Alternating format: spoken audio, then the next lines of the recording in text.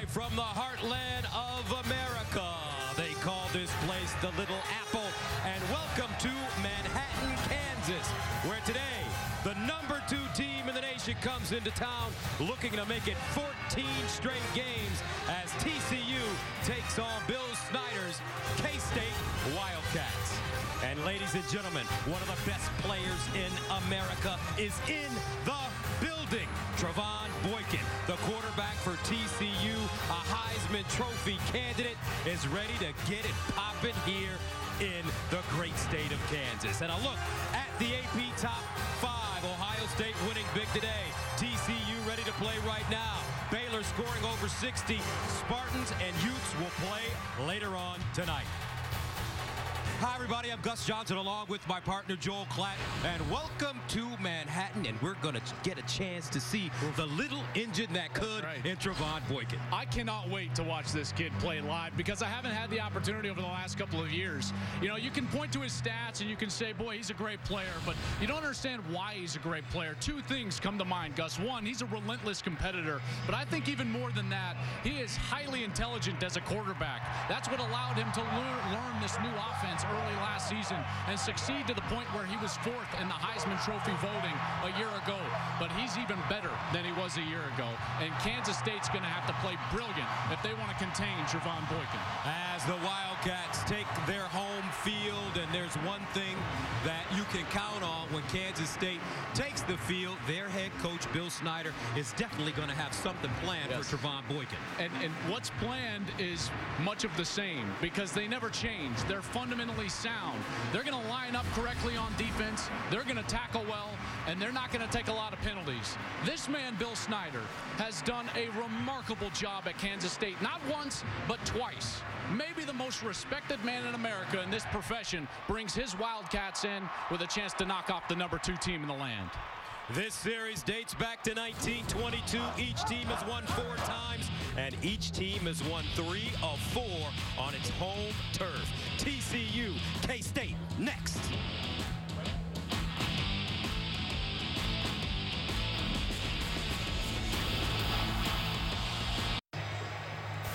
And welcome back to Fox College Football presented by Geico. Bill Snyder Family Stadium. This is the 23rd straight sellout. Over 50,000 ready to watch this one. And time now to go to the third member of our team on the sideline, Molly McGrath. Well, Gus, TCU's Gary Patterson told us that he hasn't always appreciated his star players like Andy Dalton or LaDainian Tomlinson until after they were gone, but said this year, I'm taking a step back and enjoying all the things that Trevone Boykin and Josh Doctson can and both said that they worked a lot on their timing this offseason, and their confidence in each other and chemistry is stronger than it's ever been. And Boykin may have another offensive weapon back tonight. Receiver Kolby Listenbee was running extremely well during pregame warmups, and coach told me if he can run, he can play, guys. All right, thank you very much, Molly. K-State won the toss, deferred. TCU will receive the football. Perfect day here in the Midwest. 72 degrees at kickoff time. Ian Patterson will send it away for the Wildcats. Kyle Hicks and the dangerous freshman KaVontae Turpin. Back deep. TCU won last year's game in Fort Worth 41 to 20 in a battle of top 10 teams and we're underway from Manhattan. And this one will be brought out by Turpin. And Turpin, the freshman from Monroe, Louisiana, ambushed as he crosses the 10-yard line. And a couple of things you need to know when the Horned Frogs have the ball. Well, they're so explosive on offense. I think it starts with Josh Doctson. I know Boykin's going to get a lot of the love, but this is a guy with over 40 catches, and he's doing tremendous things. I think right now he's the front runner for the Biletnikoff Award. And then defensively for Kansas State, they are a great stop in the run. Elijah Lee, the sophomore from Blue Springs, Missouri, he leads them in that category. Fourth fewest yards allowed on the ground in FBS. They have got to be great up front tonight. So Trevon Boykin threw five touchdown passes against Texas last week and became TCU's career leader on first down. They run it Aaron Green. Watch out!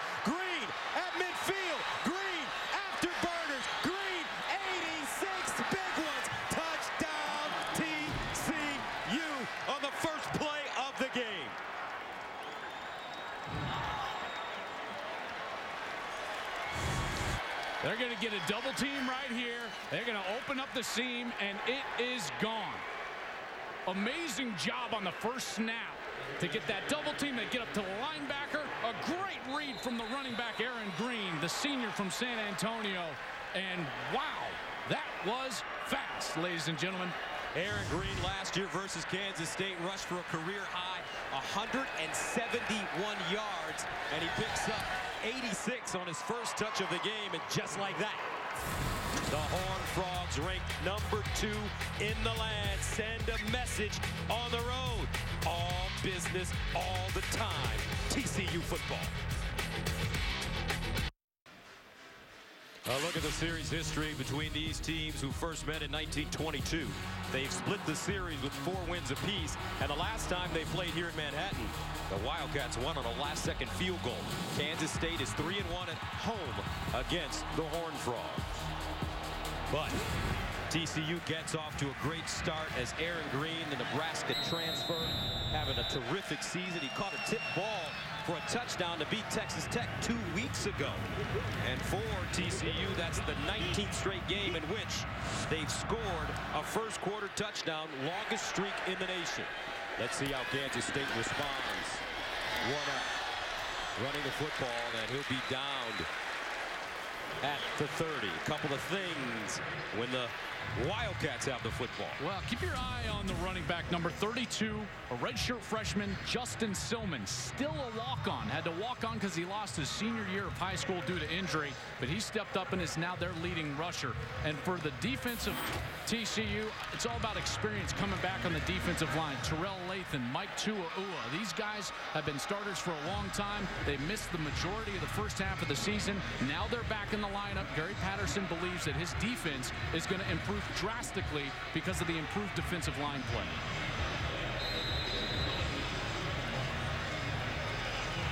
So TCU, as we mentioned, leading the nation in first quarter scoring. Coach Bill Snyder said, I think it goes without saying, it's vital for us to score early. I mean, we are going to have to score throughout the course of the game just to keep up. First down at the 31-yard line. Gronkowski, Dimel. Two fullbacks in the backfield. Hubener on first down throws. Nice catch by Kyle Klein, the younger brother of former Kansas State quarterback Collin Klein. Hubener, the former walk-on, a junior. He stepped in, got his first start in game number two of this season since he was a JV starter in high school. Has done a real nice job. I think his best attribute, though, is still running between the tackles as a quarterback in their counter game. Spent most of last week's game at Oklahoma State on the sidelines after taking that hard hit. Second and one at the 45. And they'll hand it off to Gronk, running straight ahead, and he picks up the first down. I think, Joel, that this young man comes from a family of pretty good football players. I would think so, yes. His brother Rob obviously doing amazing things with the New England Patriots, but we're going to see a lot of those big running backs for Kansas State. Glenn Gronkowski, number 48, and number 38, Winston Dimel. These guys are big, 230, 235. The linebackers for TCU, undersized. First team all Big 12 as a sophomore. First down and 10 of the 49. Justin Silmon lines up as a single setback for K-State. Hubener to throw it. Steps up in the pocket. On course, down the sideline. And incomplete. Closest man to the football is Deontay Burton. This is just outstanding coverage on the outside. Oh, so many times these Kansas State receivers like to do that double move and TCU was stressing all week. Do not break on the double move. Allow them to catch it underneath you and then rally up to make the tackle. You'd rather give up a first down than give up a touchdown. Excellent coverage there for Gary Patterson's secondary. Corey O'Mealy, the senior from Miami, Miami in coverage. Second down and 10 of the 49.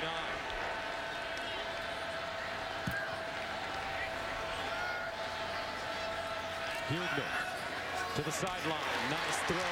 Very good catch. Kyle Klein again. Close to the first down. Looks like he has it. We had a chance to spend some time with his brother yesterday in the weight room. That's right. Collin Klein, finished his career in New York as a Heisman finalist and just had a marvelous career here as the quarterback for the Kansas State Wildcats. His brother followed him here, now a senior. There's Collin as a graduate assistant now for Bill Snyder's staff. Just a fantastic player. Great kid, too. He's down about 20 pounds. Said he didn't need all that weight.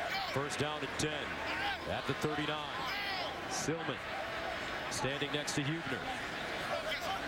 Gronkowski motions into the backfield. And Hubener with a lane. Hubener stays on his feet, finally chopped down at the TCU 20-yard line. That's a gain of 18. Well, they're going to just target these linebackers. If these linebackers are going to flow over the top, the quarterback's going to be wide open. That play side linebacker, he scoots over to start. Now he gets sucked into the middle of the line of scrimmage, and there's the read. Now Hubener's going to pull the ball. Great block by Gronkowski on the outside, and it's an easy first down for the Wildcats. And yesterday, in our meeting, you kept talking about running the ball as much as possible for K-State because their linebackers are small. Yeah, TCU 190 and 208 are the two linebackers. First down and 10. Here's a quarterback run for Hubener. Hubener picking his way, and he'll get eight yards on the play. Isiaku with the tackle. TCU runs the 4-2-5 scheme, so they play with five defensive backs at all times. The problem is, is their two linebackers are former safeties. They started fall camp this year. Travin Howard, number 32, Montrell Wilson, number 20, as safeties. They go a buck 90 and 208 respectively. That's too light in the Big 12 to face a Kansas State team. They got to get downhill. Gain of 17 and gain of eight yards on the last two plays. Second and two from the TCU 14-yard line. And this is Hubener again. And Hubener down inside the TCU 5. The patience in the run game is so important. I want you to watch the linebacker because he's actually going to jump outside when he shouldn't. And that's when Hubener picks his gap. At this point, he's slow playing it, but now he jumps outside and the hole opens up inside. And that was the third straight run for Hubener. First down and goal at the four.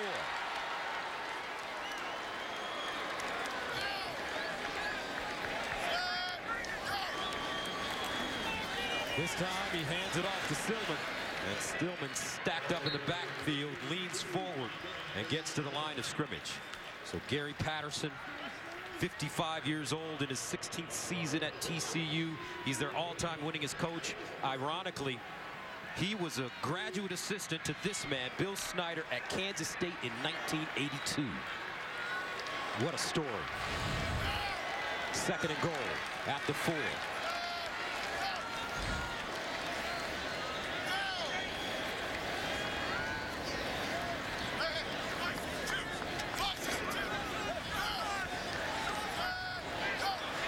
Hubener to throw it. In the end zone, incomplete. Flag on the play. Broken up by Kindred. Intended for Dominique Heath.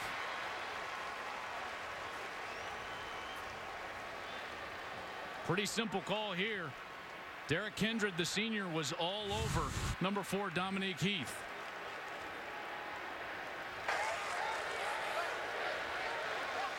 There is no foul for pass interference. The pass was tipped. It's third down.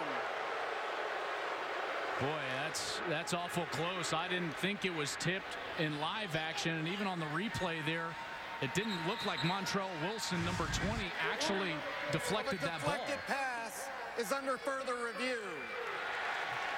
Um, I don't know, Joel. It looked like the flight of the ball may have been altered just a teeny bit. yeah, could have been. I mean, that's always so difficult to say.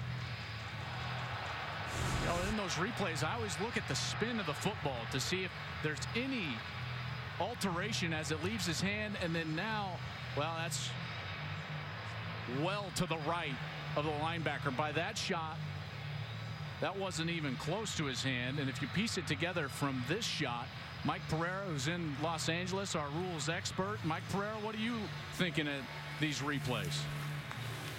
Well, I'm glad you, we had that shot from above because while it looked like it might have touched it from ground level, here you can clearly see that they're on the overhead shot you can see that it doesn't. So you now get to put interference back on the call. You know, there was some talk in here as we were looking at it, you know, the touching of the pass does not apply to the defender who's trying to make the play. It would have to be number 20 there. That touch, it's not whether that touch there happens uh, and takes the flag off. So looks to me like they would put it back on as interference.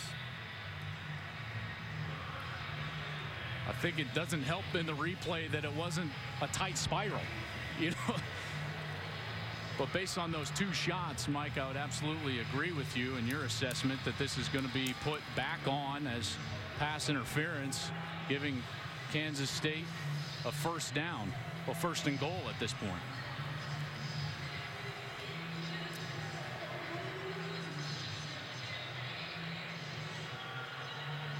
And that's usually when these replays take a while. It's because they're trying to get all the logistics because the call is changing. After further review, the pass was not tipped by the defense, and therefore, pass interference, defense number 26. The foul occurred in the end zone, and by rule, the ball will be placed at the two-yard line, first and goal. So there you have it. Kansas State will move the ball even deeper into TCU territory. As the call reversed, 9.49 to play in the first quarter. Kansas State scored touchdowns on all five red zone opportunities last week in their loss against Oklahoma State. Hubener under center this time. Hubener running straight ahead. No signal yet. Touchdown.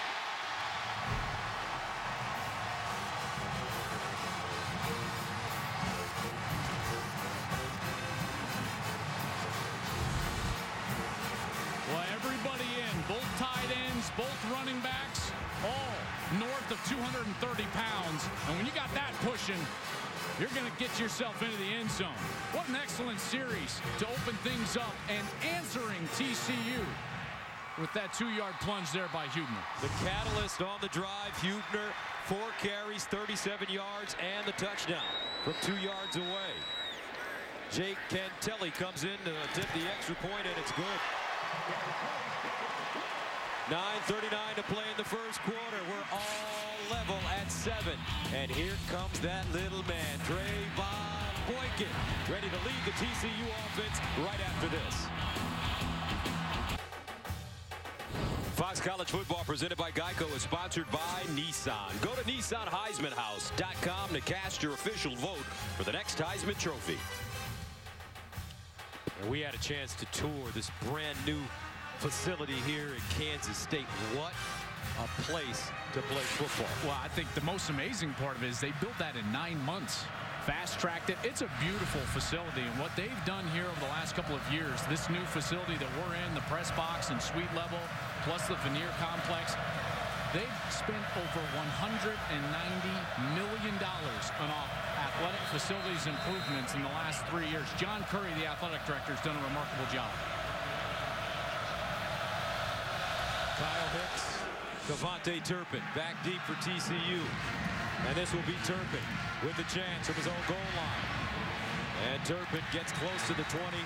Still on the move. Breaks the tackle. Turpin. And he'll get out of bounds at the 41. What a run for Turpin.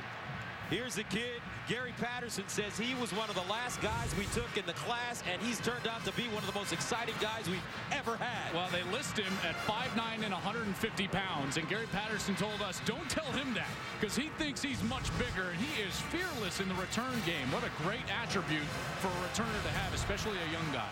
Last week against Texas, 182 all-purpose yards on 11 touches. He had six catches and four touchdowns. First down and 10 of the 41 for TCU. Boykin handing it off to Green again. Bounces it outside with the running room. And he's finally smashed down by Caleb Pruitt. But that's after a gain of 11 yards. You know, we're going to have an interesting chess match happening here between Kansas State. They don't like to get out of their defensive formation, but Kansas State Boykin throwing it deep.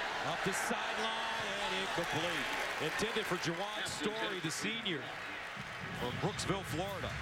Kansas State loves to run this 4-3 cover four, two deep safeties running cover four coverage. Doesn't really matter what the coverage means, but that look means that TCU should be able to run the ball all night long. It'll be very interesting to see if Kansas gets Kansas State gets out of that coverage with how well they're running it so far. Second down and 10 to the 48-yard line. Boykin to pass. Underneath, and it's caught. Desmon White doing a fine job of holding on to the football. And that brings up third down. Yeah, that ball was tipped at the line of scrimmage by Travis Britz, the senior from Harrisonville, Missouri, number 95. And great concentration by the wide receiver just bringing it in for the completion. Third down and four at the 42. TCU is fifth in the nation in third down conversions at 53%.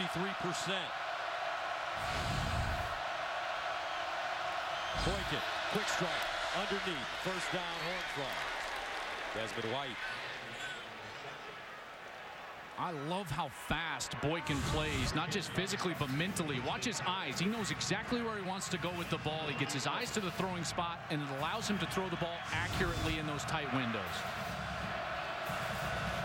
Second series for the Horn Frogs. First down at the 36. Kyle Hicks comes in at running back. Boykin slings it out to the far side. Doctson. Josh Doctson, 6'3", 195 pounds, senior. Scored twice versus Texas last week and now has 23 career TD receptions. Man, 42 grabs already on the year, over 700 yards. This guy is just a one receiver wrecking crew. On second down, Boykin again, going long for Doctson. Touchdown, Horn Frogs.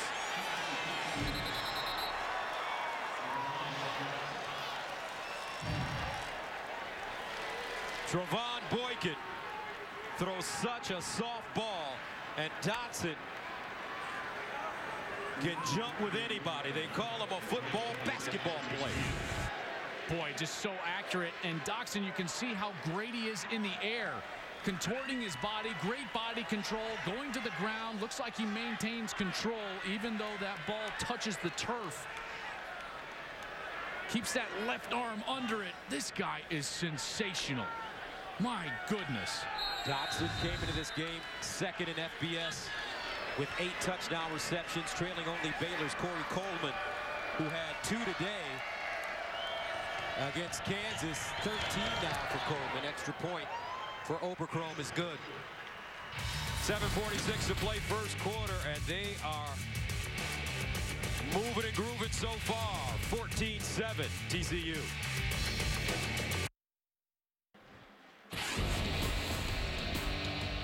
Let's take a look at the Heisman watch. Well, I start with Trevone Boykin. This guy at the quarterback position is playing better than anybody. And then Leonard Fournette. I think it starts and stops with both of those guys. Those two, Trevone Boykin and Fournette, have separated themselves out. But as we look at the Nissan Heisman watch, Fournette, Boykin, I think Mayfield has probably played himself out of that, even though he was doing everything he could. He got sacked six times today against Texas. That loss is going to hurt. Elliott's been very good. And I can't wait to watch Jared Goff against Utah tonight because that Utah defense, Gus, we've seen them twice. That's as good of a defense as there is in the country. Especially that front seven and Cal playing in Salt Lake City. So TCU scores two touchdowns in two minutes and 11 seconds. Kansas State. Heath, right.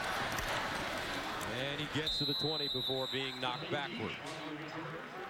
Well, the ALDS returns to FS1 tomorrow with game three between the Blue Jays and Rangers as Toronto must win to stay alive in the series while Texas heads home with a chance to complete the sweep. Coverage begins at 7.30 p.m. Eastern only on FS1.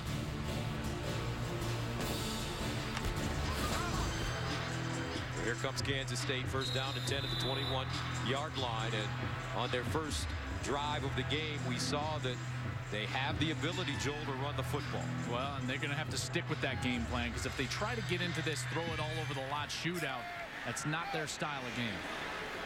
Justin Silmon in the backfield with Joe Hubener. Silmon running left, cuts it inside, keeps his feet moving. And He'll fall down at the 25. Chris Bradley, first man to him. And from the TCU perspective, defensively, you've got to be okay with allowing K-State to have long drives. What you don't want to do is give them big plays in order to stay close to you. And your offense is going to score points, but this TCU defense forced Kansas State to snap it 10, 11, 12 times, and then what you're hoping for is that they'll make a mistake, a mistake along the way. Second down and five at the 26. Gary Patterson, a great defensive mind for TCU as their head coach, said that the most important statistic for him is red zone defense. And a timeout called by Hubener. So Kansas State calls a timeout, trailing by seven.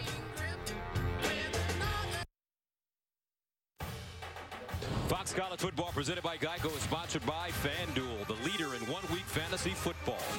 And by Geico, 15 minutes could save you 15% or more on car insurance. Welcome back, 14-7, TCU on top of Kansas State. And the Wildcats coming off a 38-34 loss in Stillwater to Oklahoma State. Mason Rudolph had an awesome game, a career high 437 yards and three touchdowns. Right now, K-State faced with a second and five at the 26.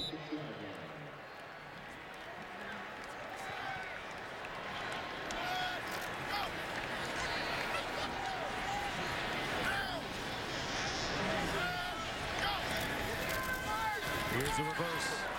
Heath breaks it inside with the running room and goes down at the 35. First down, K-State. Boy, I love his athleticism on the outside. Dominique Heath, another redshirt freshman, only 5'9 and 175 pounds, but he's got some serious wiggle on the outside. Three catches a week ago for 49 yards. He's the type of guy that they get the ball to him in creative ways. That last reverse is one of those ways that they try to do it. He limped off the sideline after a 36-yard catch in the second quarter and did not return last week. First down and 10 at the 34.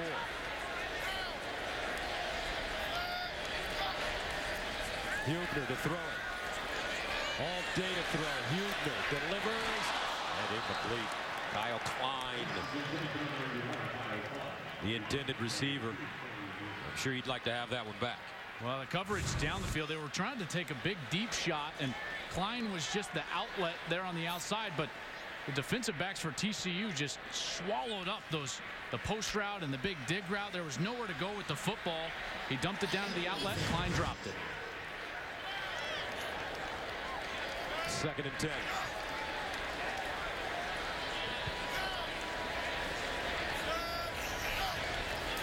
Hubener. Looking. Hubener buys time. Throws off his back foot and incomplete.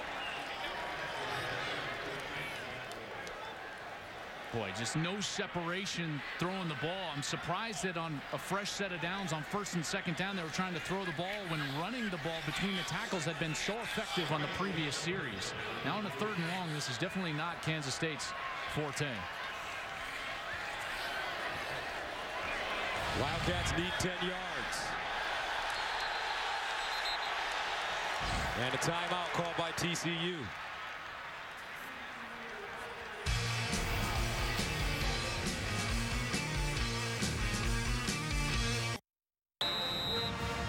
Second-ranked TCU with a 14-7 lead over Kansas State. Right now, the Wildcats with a third down and 10 at their own 34-yard line.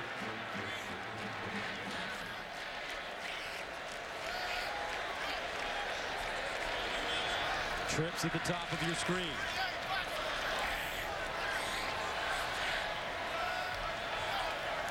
Here's Hubener.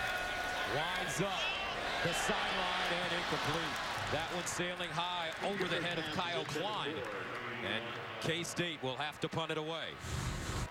Good coverage again on the outside. What I love about what TCU, especially up the top of your screen, is he forces him all the way to the sideline. That's what makes it a difficult throw for the quarterback. When the wide receiver runs right along the sideline, the sideline acts as essentially another defender. So Nick Walsh, former walk-on, has been the Wildcats' primary punter since game two of 2014. Turpin allows it to take a bounce, and it continues to roll A beautiful punt goes out of bounds inside the five, 64 yards. And that will back up the Horn Frogs.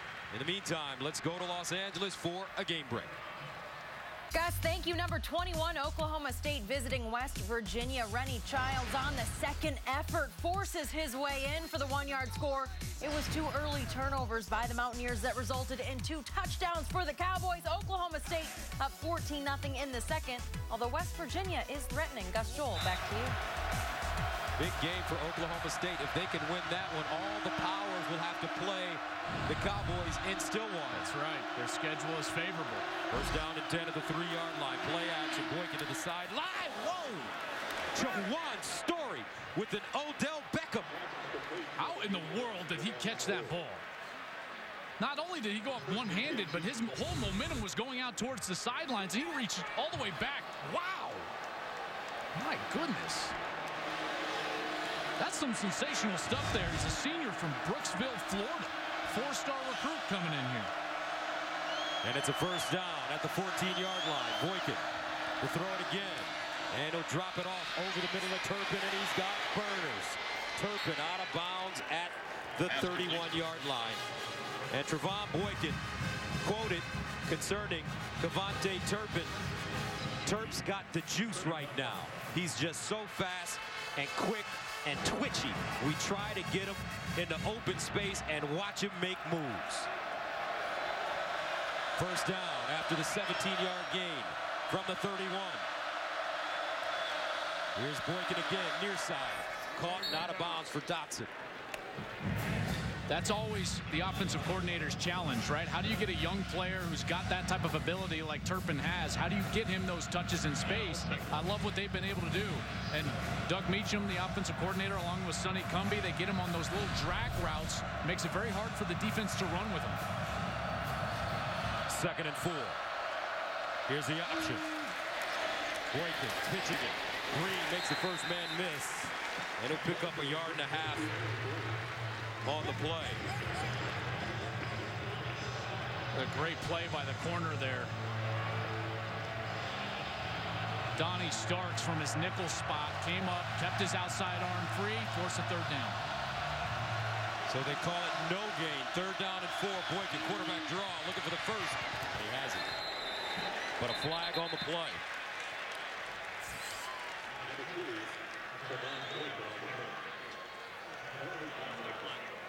There was a hold in there by the left guard, number 77. Holding offense number 77. 10-yard penalty. Repeat third down. Here's the left guard, 77, Jamil Naff.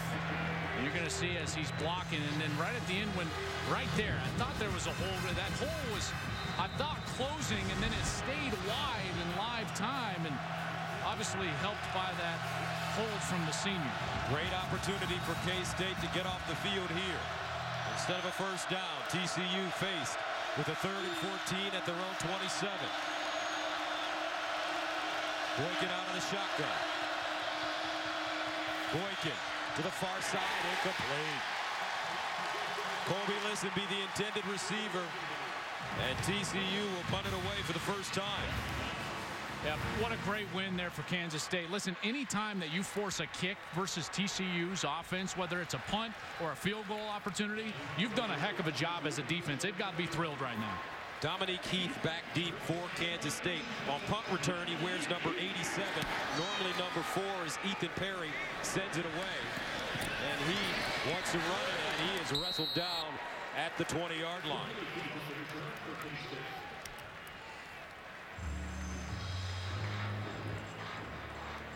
So huddle up with college football experts in live web chats all season long. A new guest every week.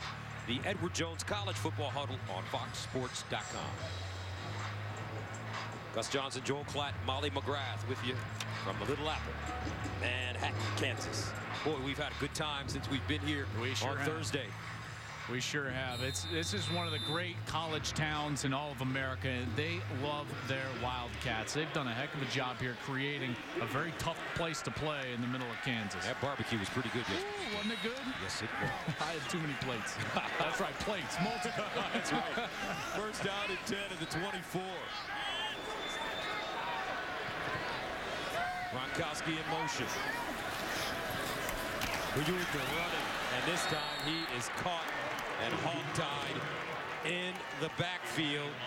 Denzel Johnson Got all the defenders up close to the line of scrimmage. They're running straight man on the outside. That allows them to have one extra defender. And when you got one extra defender, you cannot run the football against that. Denzel Johnson, number 30, did a great job there staying home on the quarterback. So a loss of four, second down at 14.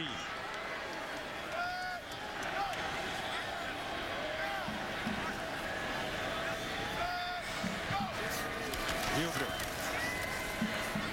Over the middle. Nice throw, great catch. Kyle Klein again. And it looks like Kyle Klein for Hubener is starting to become a go-to guy. Well, he's that great possession type guy that you can send on curl routes and the outlet routes, and what he's going to do is be reliable. So a quarterback's going to know that he's going to be in the right spot on time. You can let the ball go before he's even out of his break. So a gain of 13 makes it third down and one at the 33. Gronkowski, Dimel in the backfield, quarterback sneak, first down. Wildcats. I just love the chess match that's going on right now because after that first touchdown drive, Gary Patterson for TCU changed the coverage and he's gone to man-to-man and he's placed one of those secondary guys down into the box to stop the run of Kansas State because they ran it so effectively. And so now what's happening is Hubener is having to throw the ball to loosen the defense back up. It's these in-game adjustments that just make the game of football the most fascinating sport in the world. First down. Hubener thinking about running it. And he is caught in the backfield one more time. Howard with the tackle. That delayed run not working. No, it wasn't. And watch the safety as they're going to try to sneak Glenn Gronkowski out on this pop pass. But the safety does a heck of a job. He comes up, and then he just spies him, and now he's all over him in coverage. Hubener's got nowhere to throw the football. That's where they were trying to go. No gain on the play. Second down and 10. Hubener doing a fine job thus far managing the game for K-State.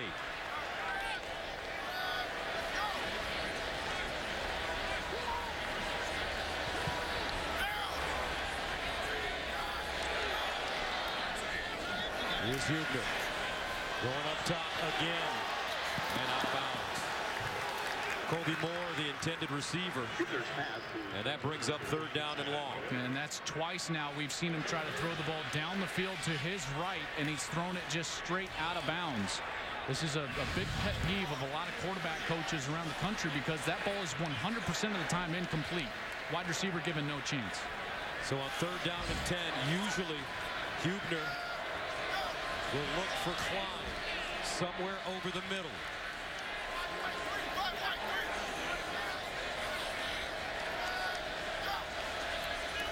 Hubener to throw. Up the sideline. This is Klein. This time he hauls it in on the sideline. A gain of 25. Well, I got to take back calling him a possession receiver now because he's going to go out and make catches like that. Up in the air, acrobatic, holds on to the ball. That's a great job. And what Hubener did was he kept him in bounds. Remember, I just said those two throws he threw out of bounds. There's no chance for the wide receiver, but there, Klein given an opportunity, and he's able to go make a play. And when we talked to Bill Snyder in his office yesterday, he talked about Joe not really being able to get a good grasp on throwing the ball short, but his deeper throws are much better. You saw the touch on that last ball. Kansas State finding a rhythm here. Driving, trying to tie this one at 14.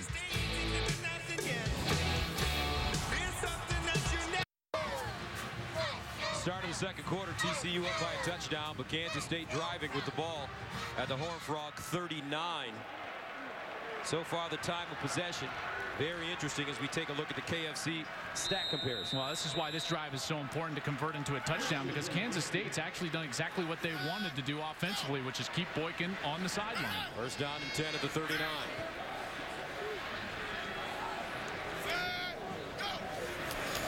Hubener handing it off to Silmon. Silmon in the room. Gets outside.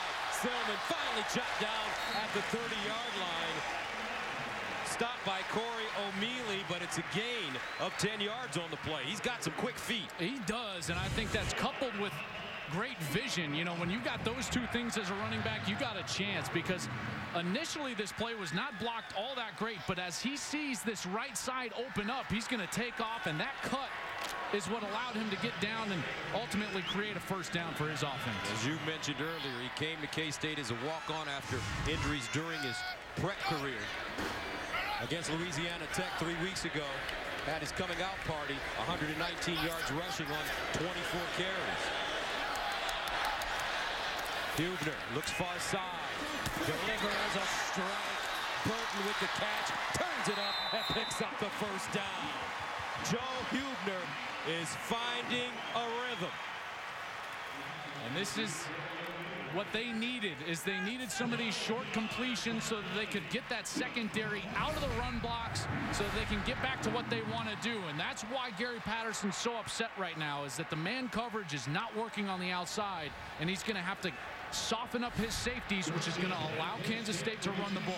Hubener, 5 of 10, 69 yards. First down at the TCU 17.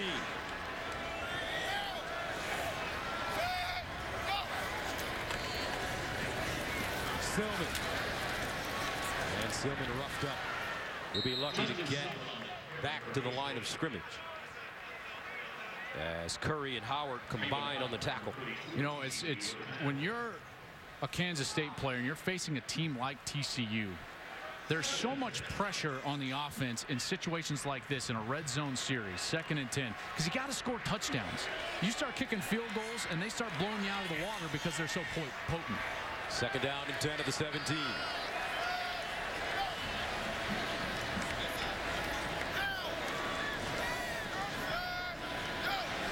Hubener wants to run. Finds some room. Picks up the first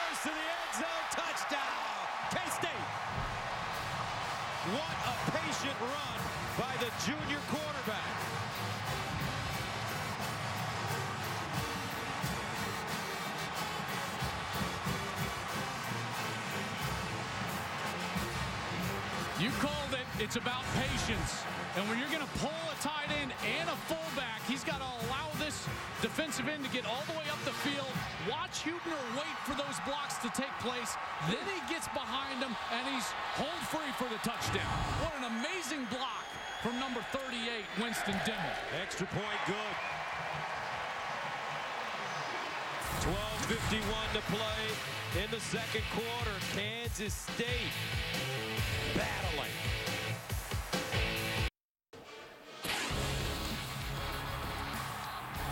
And a look at the AP top four. Well, Michigan State falling back because of that poor performance against Purdue. And Baylor and TCU really just taking care of business. Ohio State, they were they were in a bit of a dogfight earlier today against Maryland. But boy, how about Texas's win in that Red River rivalry over Oklahoma? Chubb just sick to my stomach with his injury. And Michigan 38 to nothing. Watch out for the Wolverines. That's their third straight shutout.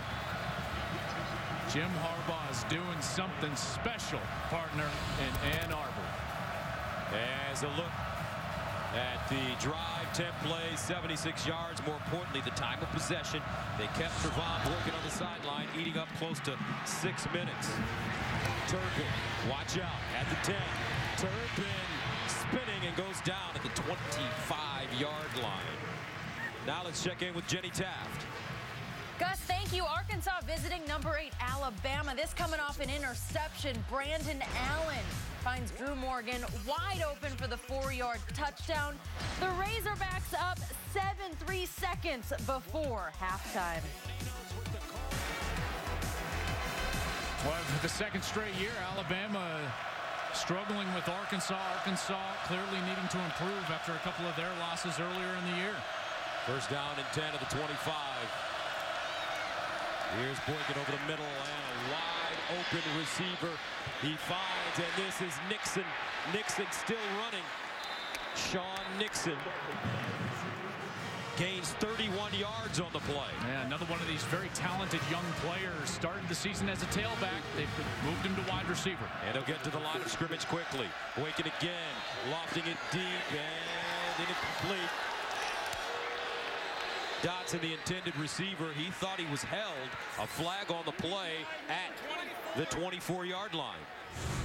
Nate Jackson's in coverage here. Doctson on the outside, and there's clearly some holding going on, but I didn't think it was. Pass interference, defense, number 24, 15-yard penalty, automatic first down. I, I thought that Doctson did something that was just so smart as a veteran player. He acted like it affected him more than I thought the contact actually did. And that's just some moxie out there on the outside.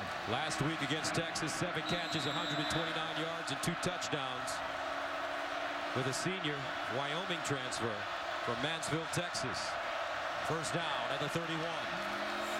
Here's the handoff. Green bottled up and taken down behind the line of scrimmage. He'll lose about four on the play. Nicely done, Elijah Lee. Boy, this offense is just so quick, so explosive. Bill Snyder knew it was going to be a very tough task for his defense to try to slow down this Horned Frogs attack. Second and 12.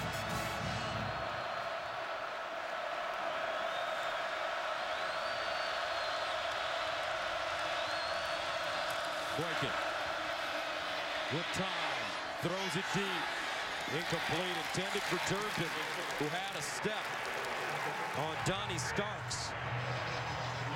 But it would have had to have been a perfect throw for Trevone Boykin. Yeah, that's exactly. This is what I was talking about earlier. When the wide receiver is right next to the sideline, that's a nearly impossible throw for a quarterback because the coverage is right next to the wide receiver and you can't throw it over his outside shoulder. Third down and 12 at the Kansas State 33-yard line for TCU. Boykin fires it. And incomplete. Boykin hit as he released the football. And for the second straight time, the TCU defense holds. This was Marquel Bryant, number 45, that ends up getting the pressure from behind Trevone Boykin. That's really the first time all night long that we've seen the pressure affect Boykin. And now again, any type of kick, whether it's a punt or a field goal, that's a win for the defense. So here comes Jay Oberkrom coming in tonight's game. One field goal shy of tying Nick Brown's TCU career record of 65. This one will be from 50 yards away. Got it up. And good. Jay Oberkrom hits a 50-yarder. His career-long 56. And TCU will take it.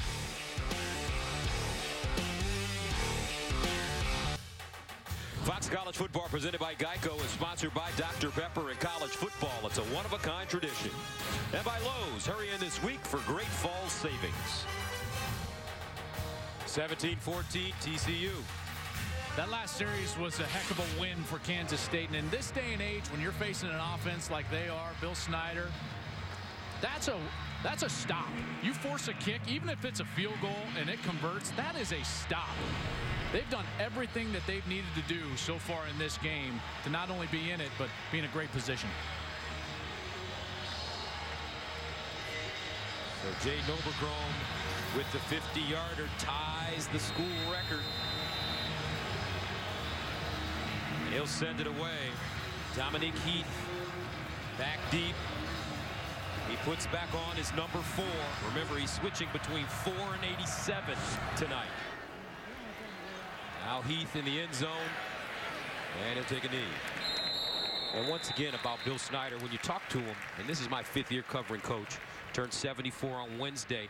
Sometimes you feel like you're talking to a philosopher that's the CEO of a major corporation. That's right. So when we spoke with him yesterday, we asked him about his team's growth, and he said, we have so much more to learn, so much more to demonstrate.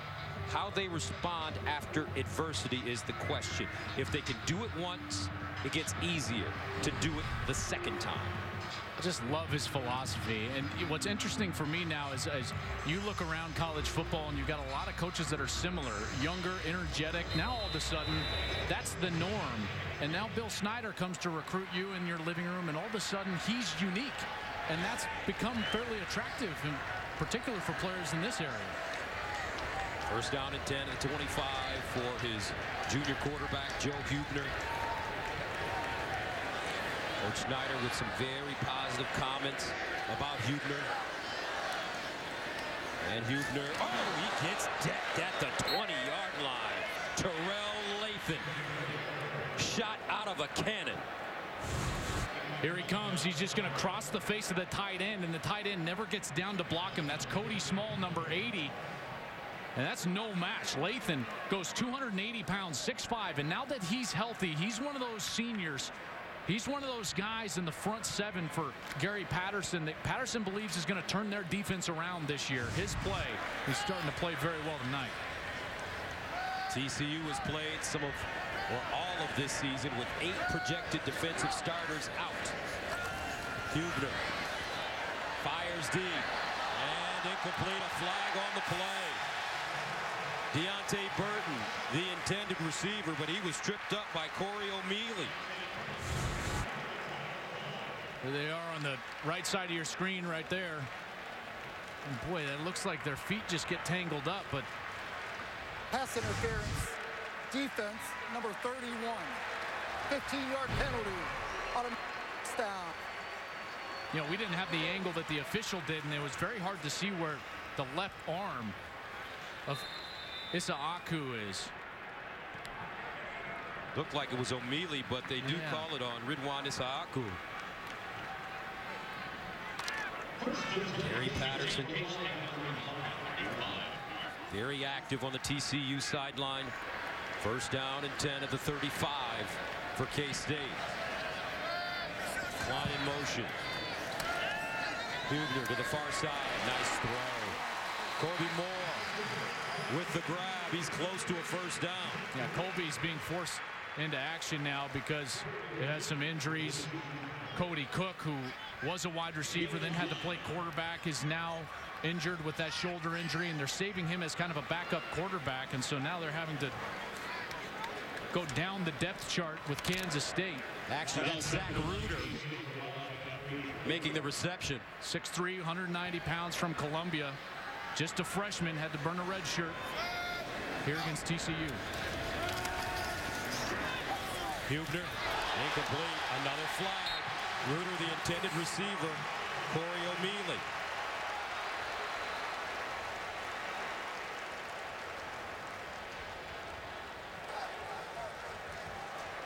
Pass interference, defense, number two. Spot of the foul, automatic first down. So they get O'Mealy again, second time on this series. He just never gets that left hand off of the receiver, and Reuter very wisely just turns and he kind of stays right there in front of the official in order to draw that flag. First down and 10 at the 49. Keith in motion. Play action. Hubener deep. Incomplete.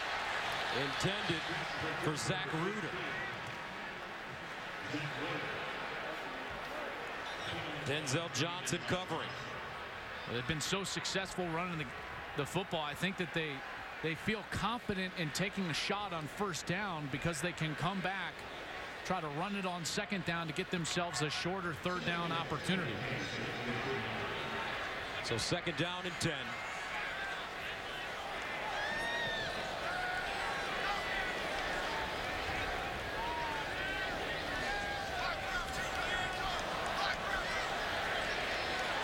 Play clock winding down. They get it off. Hubener gets outside, looking for a block. And Hubener goes down hard. Remember, he went out of the game last week against Oklahoma State. Corey O'Mealy dropping him there. Took a hard hit. Looked like he could have been out momentarily. Like we were all shocked to see him actually come back later in that game based on the hit and how he reacted to that hit. But he would later say that he was actually just more surprised than anything and never lost consciousness on the field. Third down and nine at the 48.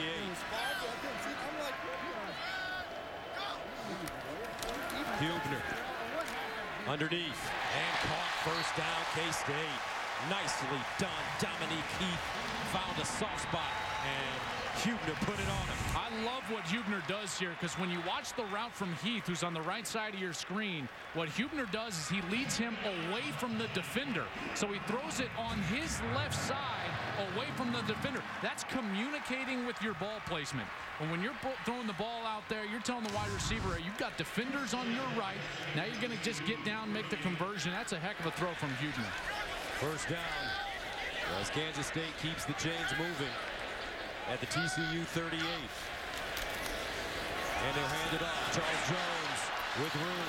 And Jones chopped down by Derrick Kindred. He'll pick up a couple. Let's check in with Jenny Taft in Los Angeles. Well, Gus, a heated rivalry between Florida State and Miami. Everett Golson finds Dalvin Cook 36-yard pass, and he does the rest. Great move. The second touchdown of the night Given the Noles the 14-3 lead over the U in the first quarter. Gus Joel, back to you. They don't look now, but Florida State is what 31 and one in their last 32 games. It's a good football team. Here's Hubener. And he goes down. And when we asked Coach Snyder about his quarterback, he said he's bright, has perspective. He gets us into good calls. And I feel that he has a lot of growth in front of him. He has the respect of his teammates. He gives them intellectual feedback. Well, I, I think that comes from his coach, Dana Dimel.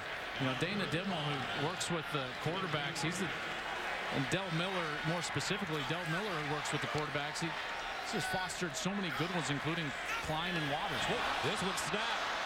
Kansas State not ready. Flag on the play.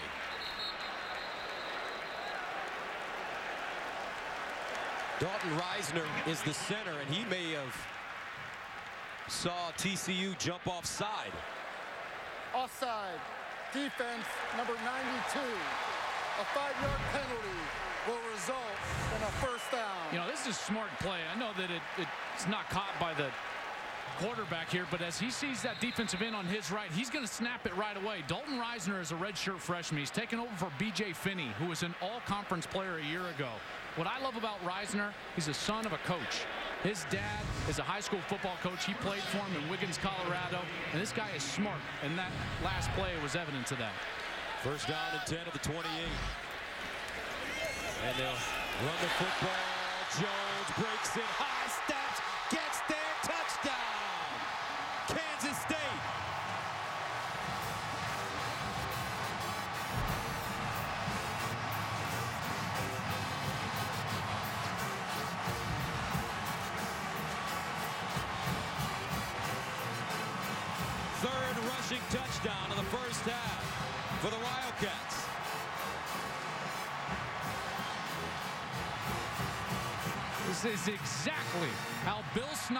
drew it up. The game plan is being worked to perfection right now by the Wildcats.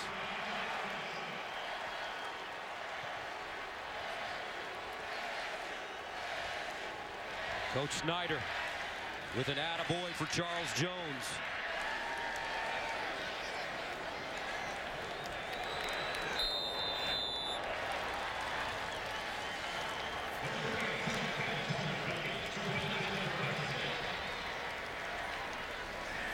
Cantele in for the extra point, and it's good. Under seven minutes to play. Kansas State taking the lead over the number two team in the country. On the State Farm halftime, we've had one huge upset today in the Big 12. Highlights of Texas's huge win over Oklahoma and a top 20 Big 10 matchup in the Big House between Northwestern and Michigan and a Heisman candidate injured. Gus and Joel, let's go back to you.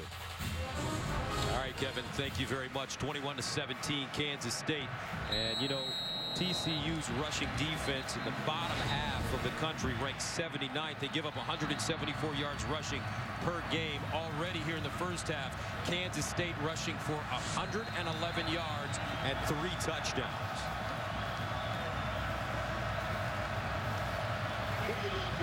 Ian Patterson will send it away.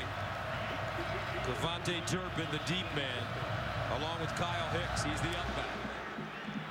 And this is Turpin from the nine. Turpin with room. A flag on the play as Turpin finally goes down at the 35.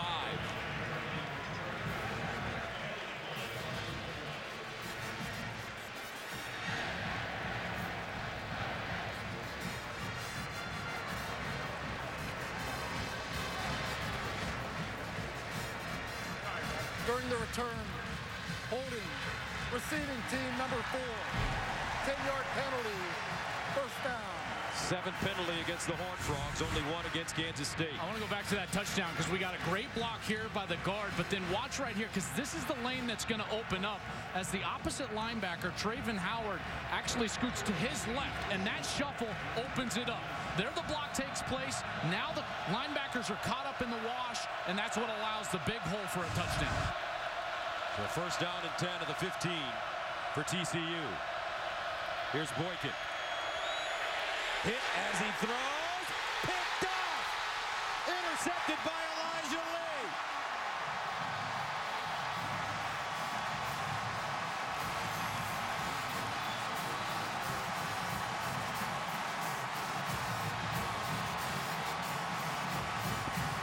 Lee gets the interception, but it's all Marquel Bryant.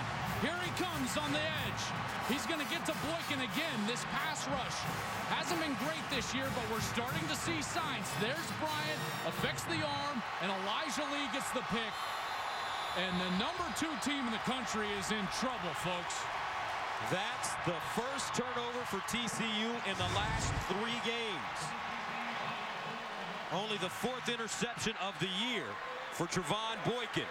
Great opportunity for the Wildcats right now at the TCU 24-yard line.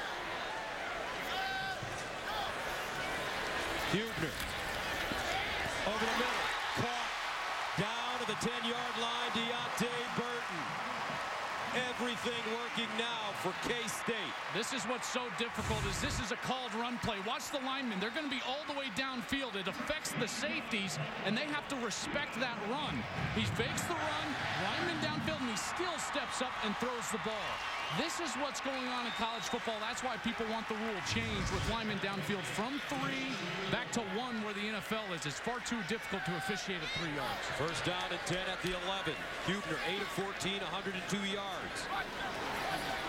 But he's been very effective running it in this area. Hubener lost one in the end zone. Burton had two hands on the football, just couldn't hold on. Nicely defended by Nick Orr. It was pretty good coverage by Orr, but I thought he should have brought this one in right in his hands. Got to catch that ball. You know, this is that time in the game. You've got number two in the country on the ropes. You've got a ball right in your chest for a touchdown. Those are things that just have to be converted. Second down and 10 at the 11. Gronkowski, Jones in the backfield. Here's Hubener. Cut down inside the five. It's Issahaku with the tackle. And he saved a touchdown. He sure did. Another great fake from Hubener. And he does just such a great job of reading those plays out. Whether he's going to give that wide stretch zone or is he going to take it himself and go straight up the field. Boy, he's been so effective on those plays.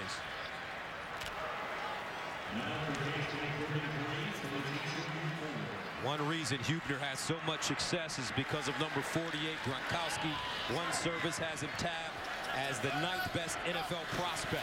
Here's Hubener. Oh, Hubener stays on his feet. Fires. Incomplete and a flag on the play.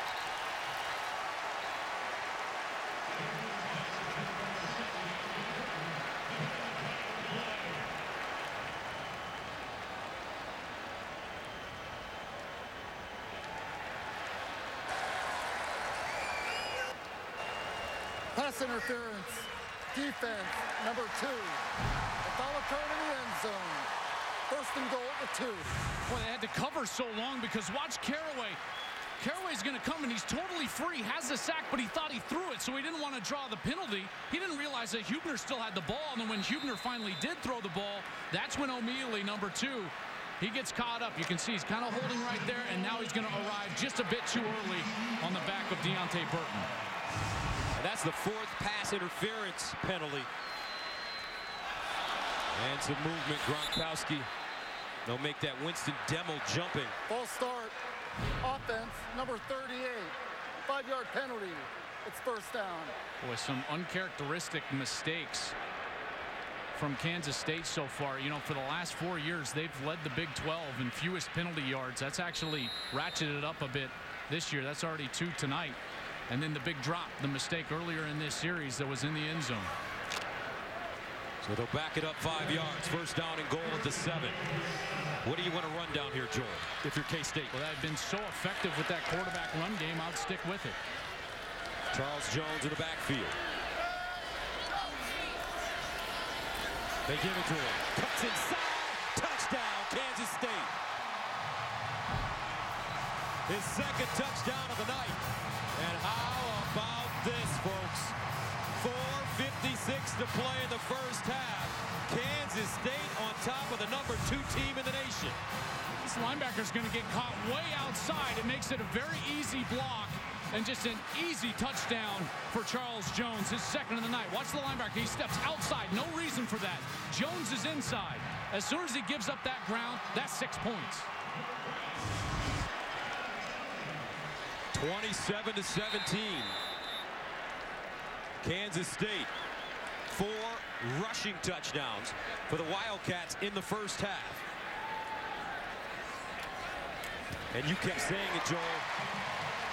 If it were you and you were Kansas State, run at those linebackers, and that's what they're doing. All week long, they got those small linebackers hammer away.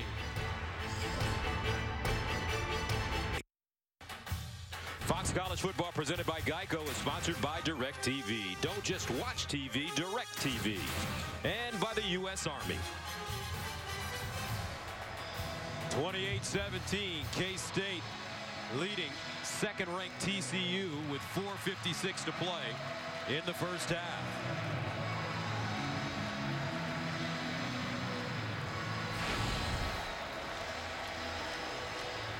Well, remember last week, Kansas State led Oklahoma State 28 to 13 in the first half and ended up losing the game 36 to 34.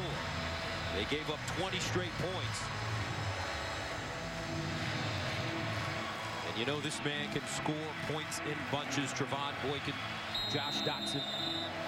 The most important part, he can't score points in bunches when he's on the sidelines. That's Absolutely exactly right. what Kansas State has done is kept him in that high-powered offense over there. Nate Cantele sends it away, and he'll kick it short. Fielded at the 30-yard line. Bobble!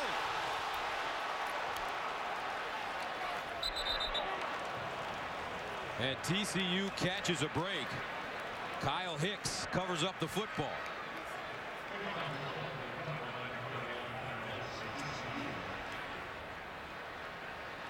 But for TCU, I think the most important part is we take a look, that short kick just wreaking havoc. You can see the ball on the ground. And fortunate that Hicks is right there for the recovery. Fell right into his lap. First down and 10 at the 29.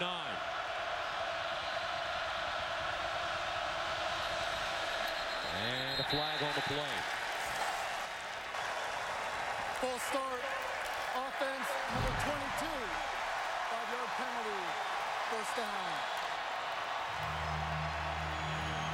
This stadium, and I know this from experience, is much louder than you would expect it to be when you're in the middle of the field. In particular, once they built this brand new press box, it keeps the noise right down in the middle of the field. 23rd straight sellout, over 50,000. First down at 15 at the 24. Empty backfield for Boykin. Boykin delivers underneath, and it's caught by Sean Nixon. And Nixon wrestled down quickly by Sean Newland.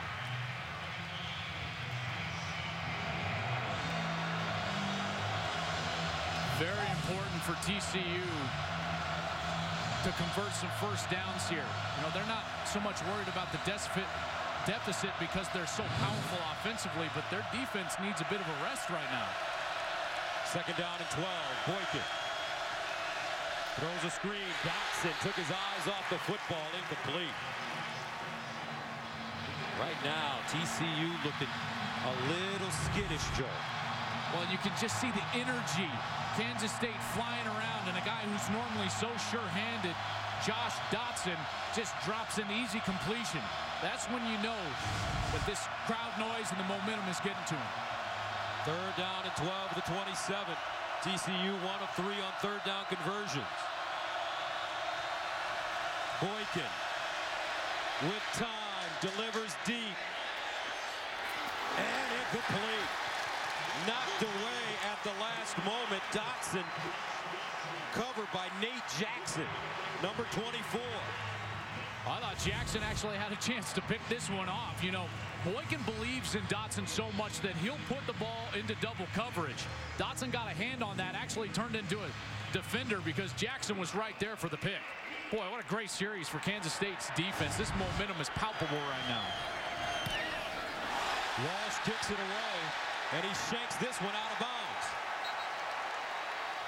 As I mentioned, TCU looking unnerved here in the Little Apple. That's a 13-yard punt.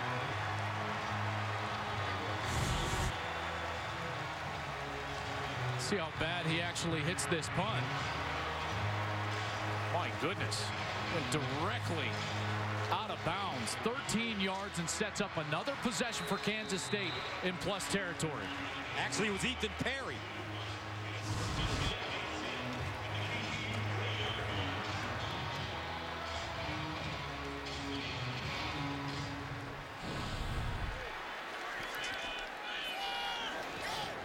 First down and 10.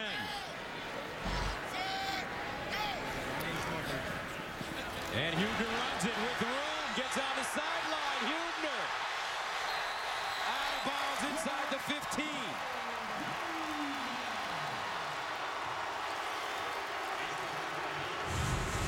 Watch both of these defenders get sucked all the way towards their left. One of them has to stay home for the quarterback. If both of them go in to stop the run, now someone's not doing their job. The defensive end is usually the one that's supposed to close down and cover up that zone from the running back, and the linebacker needs to stay home. Very frustrating for a defensive coach in Gary Patterson. 85 yards rushing and two touchdowns for Hubener in the first half. First down and 10 to the 14.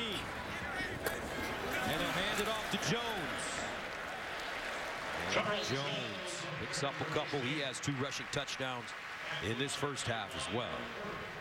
Well, this defense, they've been decimated by injuries all year. And now they've been on the field. What seems like the entire first half, it just seems like we haven't even seen Trevone Boykin on the field, and they've got to be getting tired because not only are they out there for a long period of time, but they're having to go against Kansas State's offense, which has been downhill and physical, leaning on them for the entire first two quarters. Time of possession, 20 minutes for K-State, 7 minutes for TCU. Second and 8 from the 12. Hubener will run it. And running behind Winston Dimel. He gains three yards on the play. That's at least the 10th or 11th time that Kansas State has taken the play clock all the way down inside of three seconds on a running clock. Every time that this game clock continues to run, they're not even close to snapping it until it gets all the way down there where they have to. Just a masterful job by the quarterback, Hubener, knowing that they've got to keep Trevone Boykin on the sidelines because the best defensive call tonight for Kansas State is when Boykin is sitting down. Third down and five with a nine. Empty backfield for Joe Hubener. Quarterback draw with space. First down.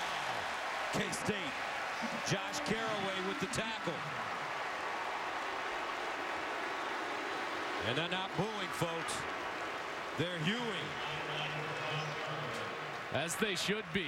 Boy, what great decisions Hubener has made so far here in the first half. And his job made just a little bit more difficult because of the game management that Bill Snyder is asking him to implore tonight. First and goal at the two-yard line. Quarterback sneak. And they'll get even closer.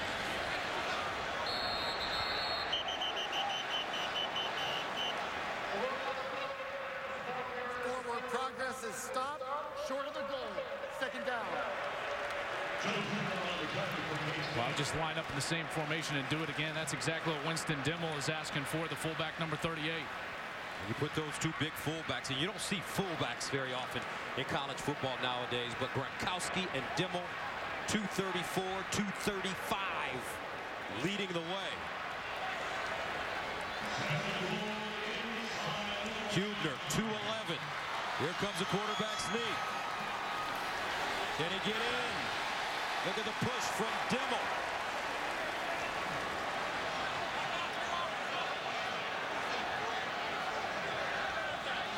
And that'll bring up third down. Denied by TCU. Well, that got a great push for TCU. Went over the top. That was number 20, Montrell Wilson, one of the linebackers, and he's who stopped the forward progress. You can see the ball there short of the goal line. Excellent call by the officials.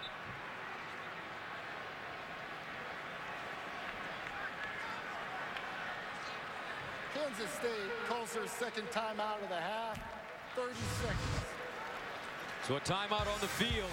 K-State knocking on the door, up 28-17.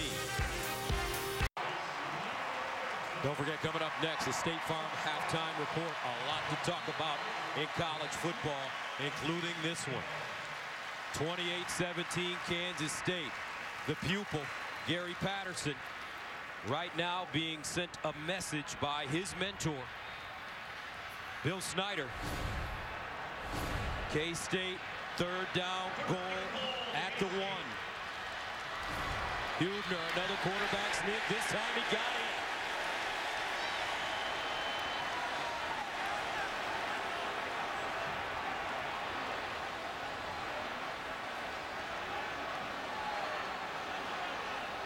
No signal yet. Touchdown. Third rushing touchdown of the evening for Joe Hubener.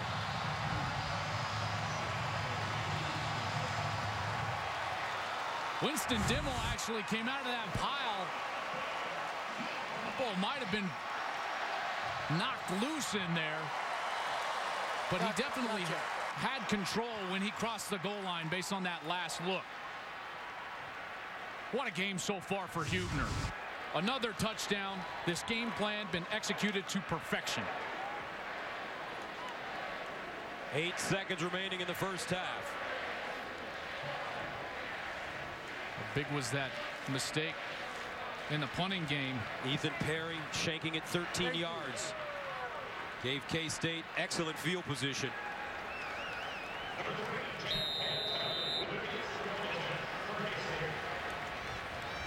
Jake Cantele comes in for the extra point. And it's good. 21 straight points by Kansas State.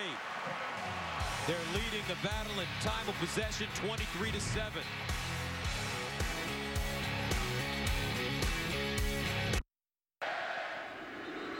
Twenty. 35-17 K-State with the lead. Five rushing touchdowns for Kansas State.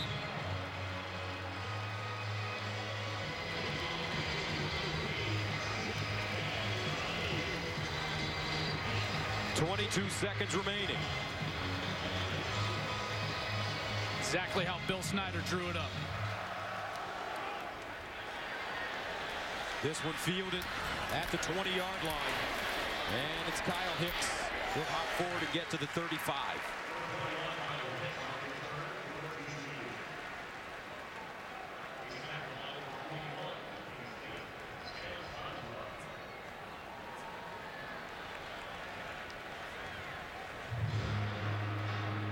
This defense has done a great job forcing a couple of turnovers, getting a stop. They've had 49 straight games they've won when leading at the half. That was snapped last week in a loss at Oklahoma State, but they are so good in the second half of the league. Here's Boykin. In trouble. And Boykin gets it away and caught.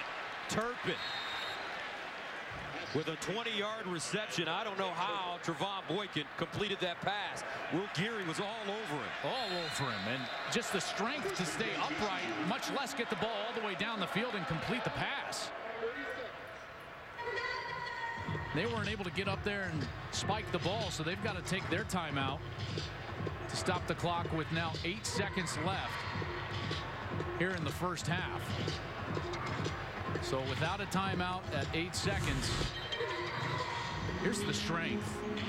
Geary, he's strong enough to throw an offensive lineman off of him and then not strong enough to get Boykin down to the ground. That's just, that's amazing. And he threw it accurately down the field. Wow. No timeouts, eight seconds. This ball's going to the end zone.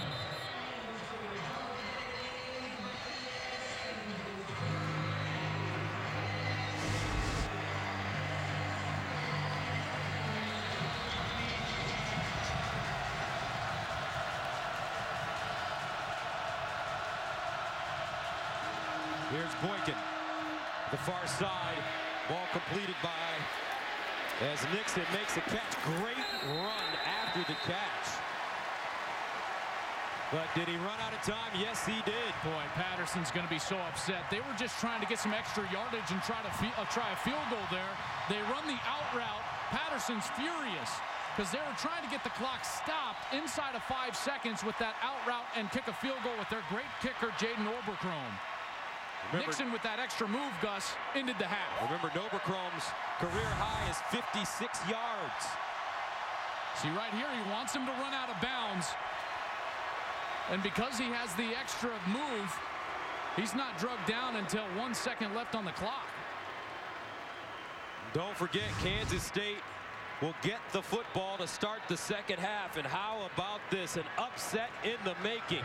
The number two team in the nation down 35-17 at the break.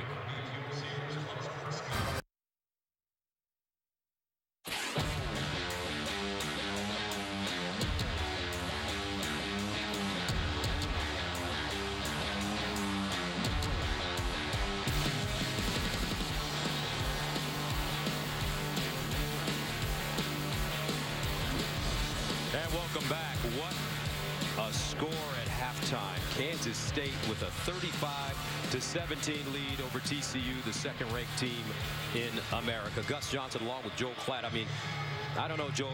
It was almost as if, as if Kansas State played the perfect half of football. And, and, listen, there was a strange ending there at the end of the first half. I want to take you back to it because Sean Nixon, the slot back for TCU, caught a pass and they wanted him to get out of bounds. I want you to take a look at the game clock in your lower right-hand corner. Eight seconds left.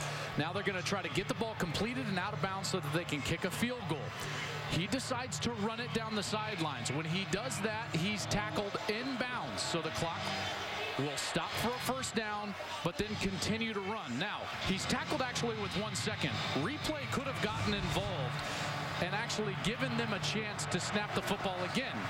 The problem I would have had with replay getting involved is it would have artificially allowed TCU to get their field goal unit on the field, Gus, which they wouldn't have been able to do in the normal course of play.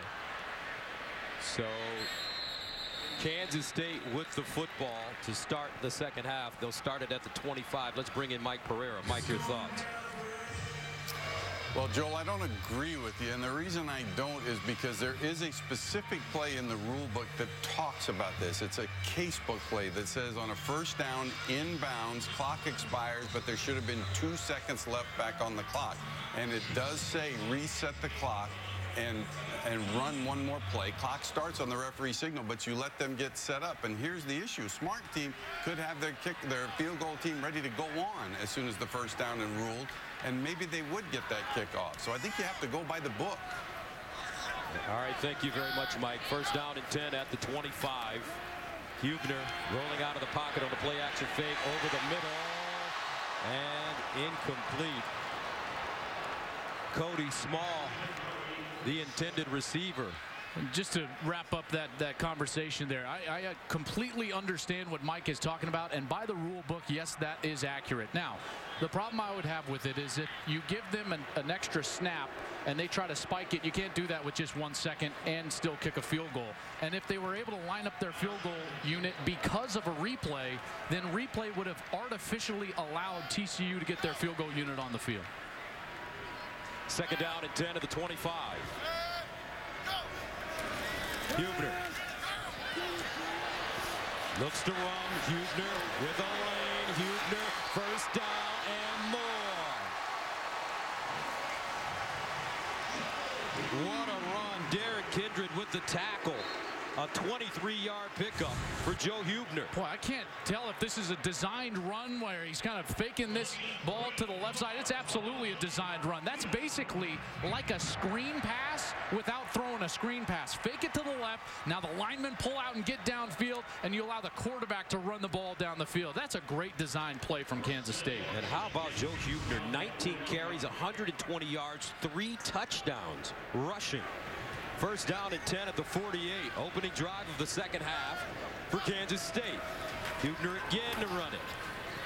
And this time he's chopped down at the line of scrimmage. Let's go downstairs to Molly McGrath. Yeah, Gus, TCU's head coach Gary Patterson obviously very upset with his defense at the half. Coming out of the locker room, he told them they need to do three things to be successful. They need to get off the field on third downs, tackle, and be more physical. He said they're not doing any of those things in the first half, and he said time of possession, penalties, stupid mistakes are killing their momentum. To get it back, he said it's simple. They need to get their offense going and score, guys. All right, thank you very much, Molly. Second and nine at the 49.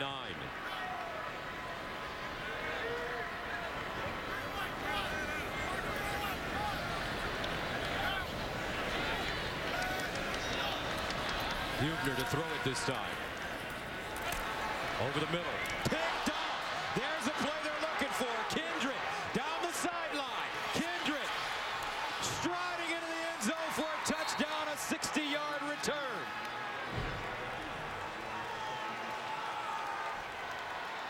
They're looking for Zach Reuter, number 15, and he actually just falls down in front of Derek Kendrick. Derrick Kindred was one of the only starters. He was the only starter left from that Peach Bowl victory earlier this season when they were playing Texas Tech, and he comes up with the biggest play so far for TCU of this night. Wow, what a game changer for TCU. Kendrick just a marvelous job stepping in front of that ball. 35 to 23 now. Extra point on the way. And once again, remember last week, Kansas State led Oklahoma State 28 to 13 in the first half. They proceeded to give up 20 straight points, took the lead again with three minutes left, but ended up losing the game. Extra point is good.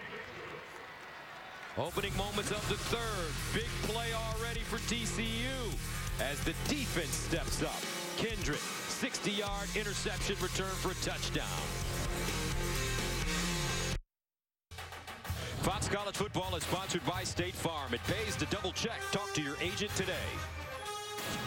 By FanDuel, the leader in one-week fantasy football. And by Lowe's, hurry in this week for great fall savings. 35-24 now, K-State with the lead, but Kindred with that beautiful interception return for a touchdown, his seventh career pick six. And that should give TCU some momentum as they get ready to go back on defense. On the other side, Hubener throwing the interception. Let's see if that affects how Kansas State calls this game now offensively. Oberkrom kicking it away. Heath back deep. And he'll take a knee. So we'll stay right here as Joe Hubener, who's been excellent aside from that interception in this game. You know, it'd be, it'd be one thing, Gus, if it, if it was schematically something that TCU did that, that shook Hubener and, and made him have a poor read, or if it was a poor read by Hubener just in normal course of play, but it, but it wasn't. You know, it, a wide receiver fell down. So this is the hard part for a play caller is you got to go back out there like nothing happened Mm-hmm. because nothing really did happen for them except for poor footing. and just continue with the game plan, which has been running the football specifically with Hubener with his 101 yards now passing in and rushing. First down and 10 of the 25. Charles Jones in the backfield. Hubener pulls it out, looks to throw, hit as he releases, incomplete. Deante Burton, the intended receiver. And now you get much better pressure on the quarterback. He threw this a little bit earlier than he wanted to. That was Montrell Wilson, the true freshman linebacker, 6'3", only 208 pounds. But you can see in space, very quick, a physical player right in Hubener's face as he was trying to get the ball downfield. As you mentioned, those linebackers tiny. Wilson, 208. Howard, 190. Second and 10 at the 25. Hubener 0 for 3 to start the second half. Hit as he throws again up the sideline, incomplete. Kody Cook, the intended receiver. Cook came in at quarterback last week. Injured his shoulder. Is available to play some QB tonight if needed. More pressure in Hubener's face there. That was Terrell Lathan with the pressure again having to throw the ball before he wanted to. Third down and 10 of the 25.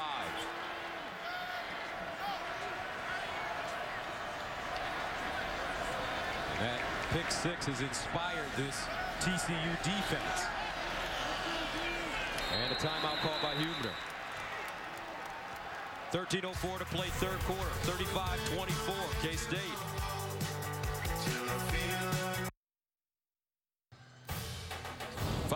Football presented by Geico is sponsored by Sprint. 35-24 K-State. As the TCU defense starting to get stingy now. Third down and 10 at the 25. Kansas State 5 of 6 on third down conversions. Joe Hubener in the shotgun all by himself in the backfield.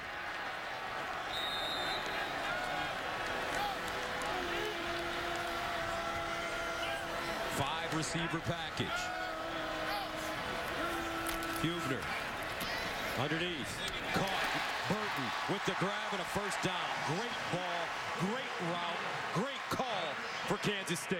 Yeah, I thought the protection was tremendous up front because Hubener had been having to throw the ball before he wanted to on the last two passing attempts. He finally had time behind that offensive line to get the ball down the field to Burton, who ran a very good route, got some separation, and they moved the chains. A 17-yard gain, and that's a first down for K-State at the 42.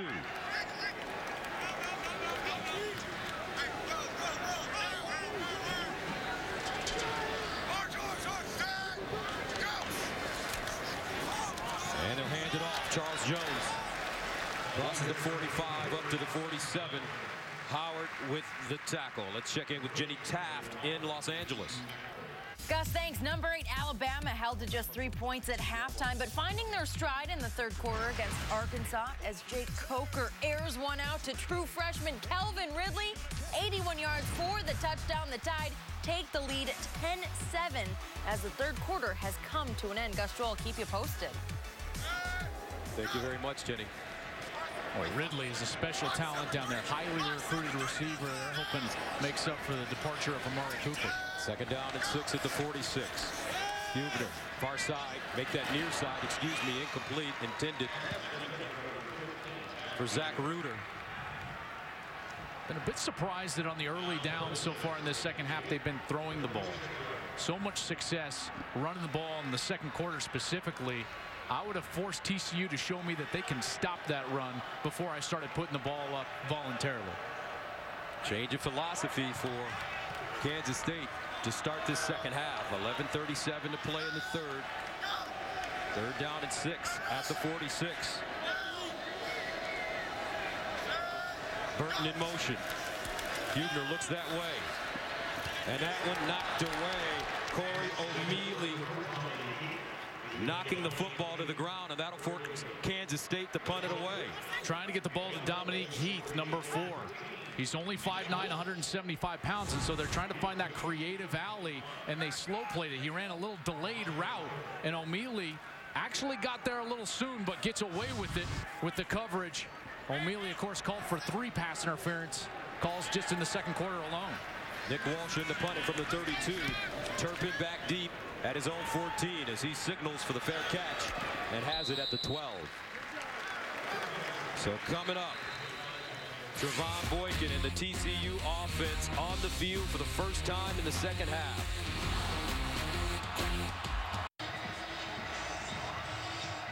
35 to 24 Kansas State as TCU comes onto the field as you take a look at the ball control time of possession the most important stat right now 26-24 for Kansas State. Only seven minutes and 13 seconds. TCU's high-powered offense has been on the field. First down and 10 from the 12-yard line for Boykin. As he decides to run it on first down gets an angle and finally taken down at the 21 Tackled on the play by Elijah Lee. Remember, TCU comes into this game ranked second in the nation in scoring offense at 51 points a game. Second in the nation in total offense at 630 yards per game. Fourth in passing at 369. They've amassed 600 or more yards and scored 50 or more points in four straight games. But they've been on the sideline tonight. Boykin steps up in the pocket. Jitterbugging. Picks up the first down. Stopped by Will Davis, the linebacker. And Will Davis was actually spying him the whole time, and Boykin was still able to convert and move the chains. It just shows you the athleticism that Trevone Boykin has. The tendency for a quarterback here that has his ability is to do too much because they haven't been on the field. He's still got to go out and just operate within the game plan that they had this week. First down and 10 to the 25. Turpin in motion out of the backfield. They swing it to him in space. Burst of speed. First down up the sideline and out of bounds. And there's one of those creative ways that you're going to get KaVontae Turpin involved. True freshman from Monroe, Louisiana. They line him up in the backfield, send him out on motion, and just get him the ball right away. That's a great design from Doug Meacham. First down to the 45 after the 20-yard pickup.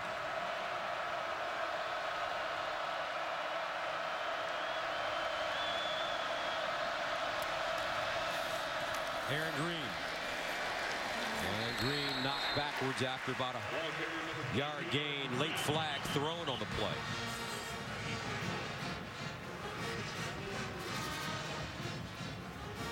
Will Geary, number 60, was the defensive lineman who really made the stop in there.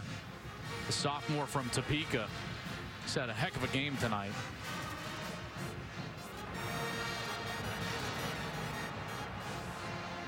After the play, personal foul, late hit, defense, number 10. 15-yard penalty, automatic first down. That's Donnie Starks, the junior from Crosby, Texas.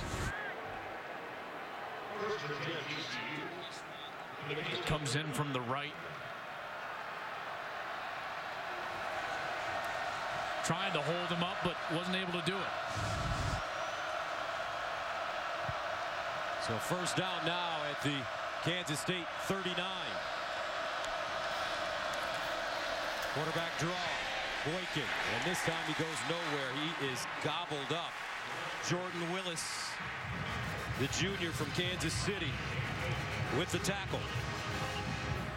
Willis, 6'5", 250 pounds, showing some of that quickness. Not the biggest defensive end you'll ever see, but the quickness to bring down Boykin there in the open field. Second and 10, no gain. Josh Doctson, the receiver at the bottom of your screen.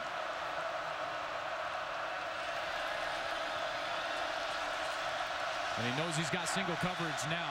Kansas State moves to a one safety look. And the handoff to Green tries to get around the corner. Nothing doing as he's chopped down close to the line of scrimmage. Caleb Pruitt comes up and makes the hit. Very surprised they checked to a run there. Anytime you see one single safety deep, that means that your offense is not going to be able to block everybody in the front. They have one more player than you can block. Very surprised that TCU decided to run it on the last play. So third down and nine at the 38. TCU one of four on conversions. Empty backfield for Boykin.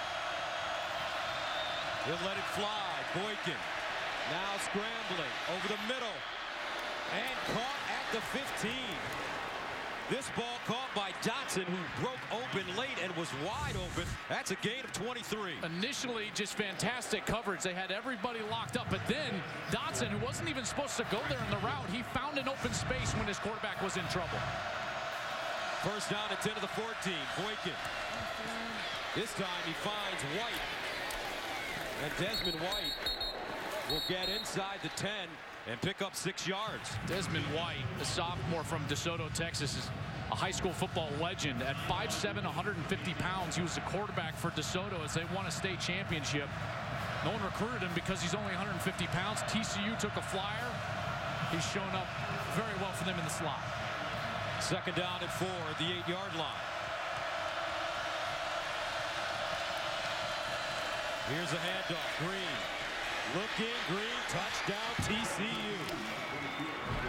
And how about the block by the quarterback, Trevone Boykin, to spring Aaron Green. I love it. I talked about this guy's competitive spirit. Boykin, after the handoff, is actually going to come up and get the block that allows Green to get the edge. Man, I love it. I love it when quarterbacks are more than just the quarterback. I know it wasn't the most devastating block, but Gus, you got to give him credit for just getting in there. He did That's what I'm talking about. They scored a touchdown. 7-14 to go.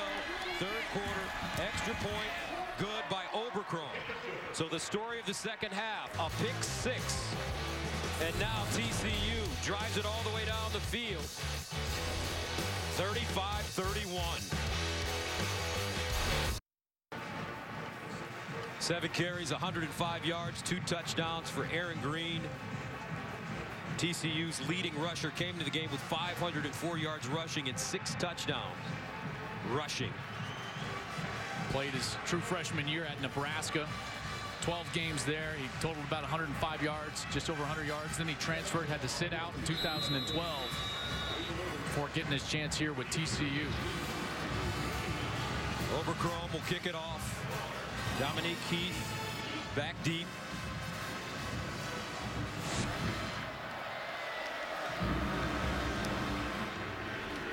And Heath will take a knee in the end zone. The ALDS returns to FS1 tomorrow with game three between the Blue Jays and Rangers as Toronto must win to stay alive in the series while Texas heads home with a chance to complete the sweep. Coverage begins at 7.30 p.m. Eastern only on FS1 as a former professional baseball player. Our Joe Klatt was in the San Diego organization coming right out of high school. Who do you like so far?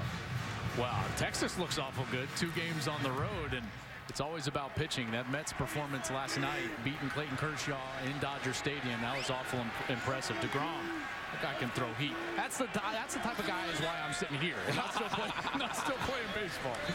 First down at 10 at the 25 for K-State. Silmon. And he may have gotten a yard. Nicely done. Denzel Johnson with the tackle. The junior from Gainesville, Texas. As you look at Hubener in the first half and second half, different numbers. What kind of adjustment has TCU made on him? Well, I, I, just think that Kansas State is trying to throw pocket passes rather than getting the run game going and then throw play action passes off of that. So it's more the style of passing game that Kansas State's trying to execute rather than what TCU is trying to do. Second down and nine.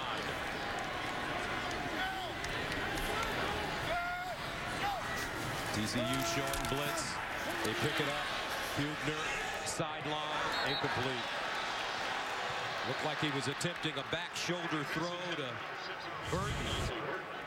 This is just such good coverage. I've, I've, stressed this a couple of different times tonight, but wide receivers always cover themselves up by getting pushed all the way to the sideline. And that's exactly what Nick Orr did, number 18, sophomore from DeSoto, is he used the sideline and as his friend. Push the wide receiver over. There's nowhere to throw the ball. 39 to the 26.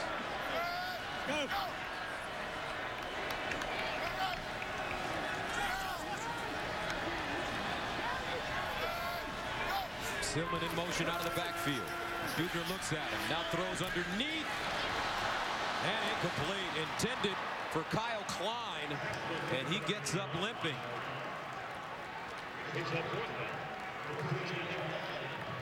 I thought that was a good ball from Hubener. He got the time. They ran that same in route that they completed to Burton on the last series for a big third down, but Klein unable to make the catch in the secondary. This defense is really starting to pick itself up. Nick Walsh will punt it inside his own 15. KaVontae Turpin back deep. And he will catch the ball at the 35, a 39-yard punt. So let's take a look at the storylines. This is how we got here. First play of the game, Aaron Green goes 86 yards for a touchdown, but then Kansas State just started to fight and claw and get themselves back in this game. In fact, in the second quarter, they went on a 28 to 3 run, taking a big lead into halftime. But now in the third quarter, it's been all TCU. They get the pick six, just a huge play, and then their offense finally gets on the field, sustains a drive, and pulls within four points. Boykin starts from his own 35. Boykin pump fake. He'll run it and get a half yard. Will Geary closing in quickly. These defensive tackles for Kansas State, I think they've done a great job of not getting too wild in their rush. They know that Trevone Boykin is a sensational athlete and can run the football. And so they're staying where they're at, kind of a, a slow rush, so that when he does leave the pocket, they're in position to make the tackle. Second and 10. Boykin over the middle. And intercepted.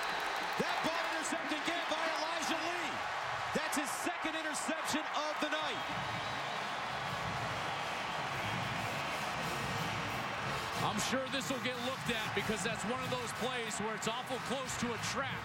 We'll have to see if Lee actually had his hands under the football.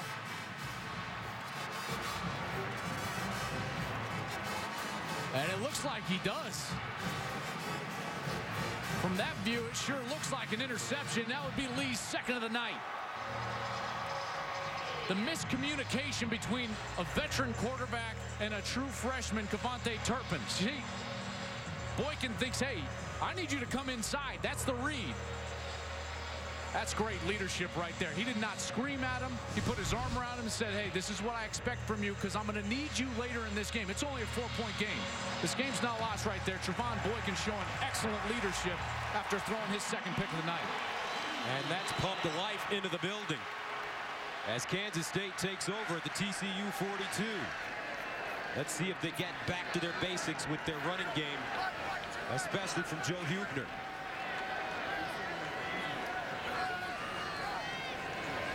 Hubener throws to the sideline again. And incomplete. Every time we've seen Hubener try to throw the ball down the field to his right, he's thrown it out of bounds. Kody Cook, the intended receiver. And he knew it. This is why he's so frustrated. Because he realizes that that's his mistake. It's not the wide receiver not getting open. It's not an offensive lineman not staying on a block. It's the fact that he's given his team no chance by just throwing the ball right out of bounds. Second and 10.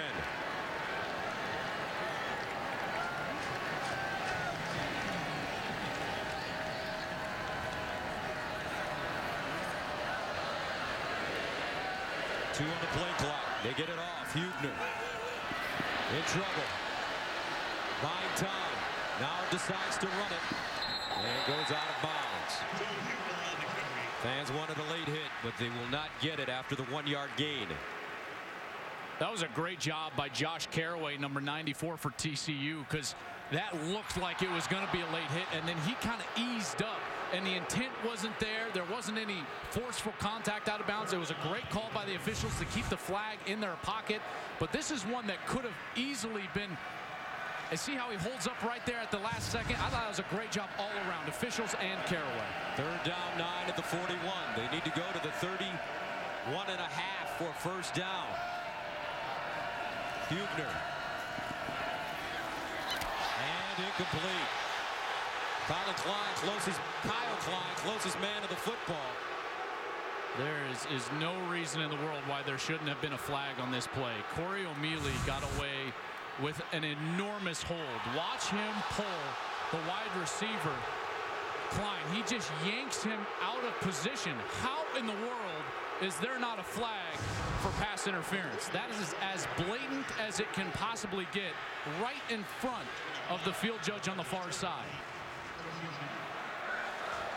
So in the punt for the fourth time is Nick Walsh. Turpin wants a shot at it. And Turpin with a fair catch at the 10-yard line. Well, there's no beating the new comedies Tuesday on Fox. John Stamos in Grandfathered and Rob Lowe on The Grinder. Our TV's new perfect pair. Two comedies that are too funny. All new Tuesday on Fox. John Stamos never ages. Just like this man. 74 years young as of Wednesday. Coach Bill Snyder 2015 College Football Hall of Fame inductee and one of just four coaches with 100 Big 8 slash Big 12 conference wins. Joining Tom Osborne, Bob Stoops, and Barry Switzer. First down and 10 at the 10-yard line. Play action. Near side caught Doctson. And he'll get out of bounds with an 11-yard pickup. Number nine, Josh Doctson with the reception. Boy, these two, they're a thing of beauty when they get to work because the timing is so great. Boykin, that ball's out of his hand before Doctson ever breaks in his route. First down and 10 at the 21. And they hand it off, lost the football. Does Kansas State have it? Ball is fumbled on the play. TCU will hold on. Boy, that ball was on the ground for quite a long time. This exchange is always the quarterback's responsibility. The running back has to have his eyes on the defense so that he can see the cuts. So the exchange there with the quarterback and running back is absolutely on Trevone Boykin's shoulders. Boykin with the presence of mind to jump on it. Second down and 10 at the 21. Boykin in trouble. Reverses. Steps up. On the move. Boykin. And he gets out of bounds. A five-yard gain. I mean, he turned this into a no-chance third down opportunity of about third and 25 into a very convertible third and five with his athletic ability. That is a sensational escape back there near his own 10-yard line just to get this in position to potentially move the chains. Third down and five to the 26. Kyle Hicks comes in at running back.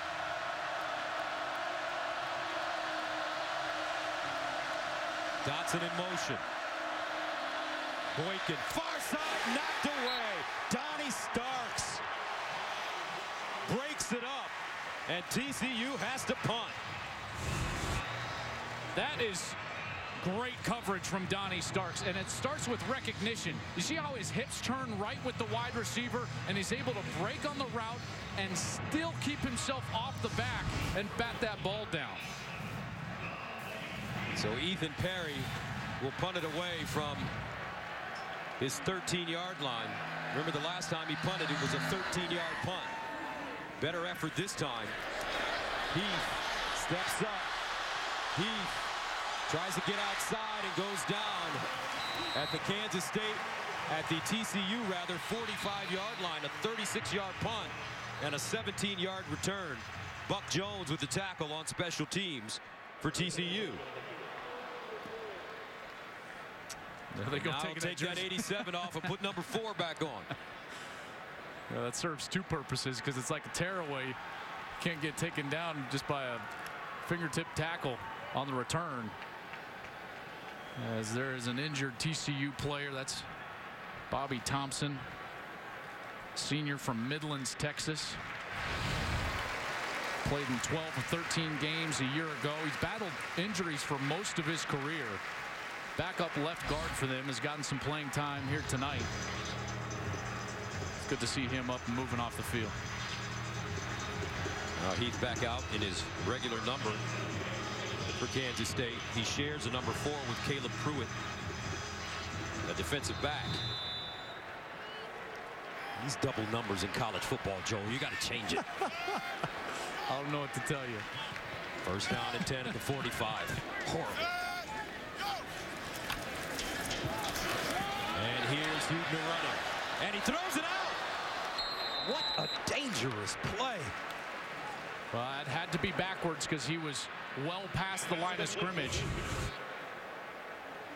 Going to be tough to see it from this look, but he's running. He's well past the line of scrimmage, and then he has to throw that ball backwards, or else that's an illegal forward pass. I mean, from that angle, It looks like he threw it, it forward. looks like he threw it forward. There's no question.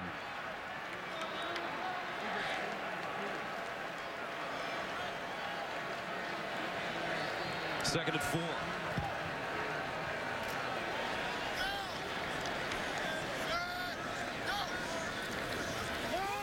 And they'll hand it off. Jones, first down.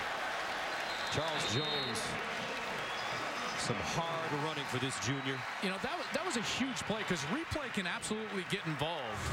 Here's another look at this play from Hubener on first down. He's well past the line of scrimmage, and he throws that ball. It leaves his hand right at about the 40 and a half yard line. Mike Pereira, replay could have gotten involved. That ball was caught at the 39. That would have been loss of down.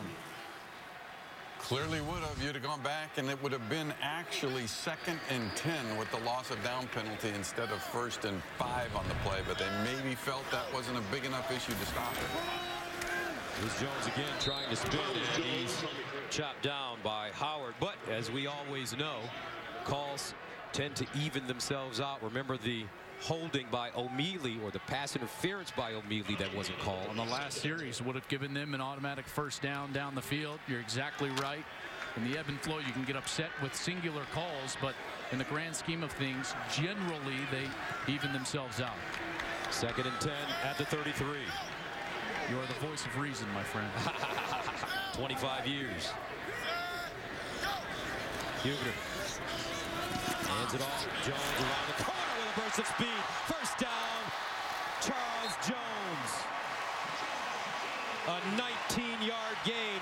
Now Kansas State getting back to their bread and butter. That's right, and they're attacking these linebackers. I want you to watch the linebacker commit again, and that's what allows Charles Jones to get around the edge. There's no reason for this linebacker, and that's the true freshman Montrell Wilson, or excuse me, Travin Howard, of the sophomore. He gets himself way up into the line of scrimmage and out of position. These linebackers have had a heck of a time tonight. Jones averaging eight and a half yards per carry. First down at the TCU 14. Jones again. He hops through the hole and picks up one. Clock winding down, 27 seconds and counting. You know, most teams in college football would rush up to the line and try to snap it again. Kansas State's just going to walk over the sidelines and say, absolutely not. One thing Bill Snyder told us about his philosophy as a coach. I never want to get too high. I never want to get too low. I want to always stay in control. Right now, K-State 35-31, threatening in control.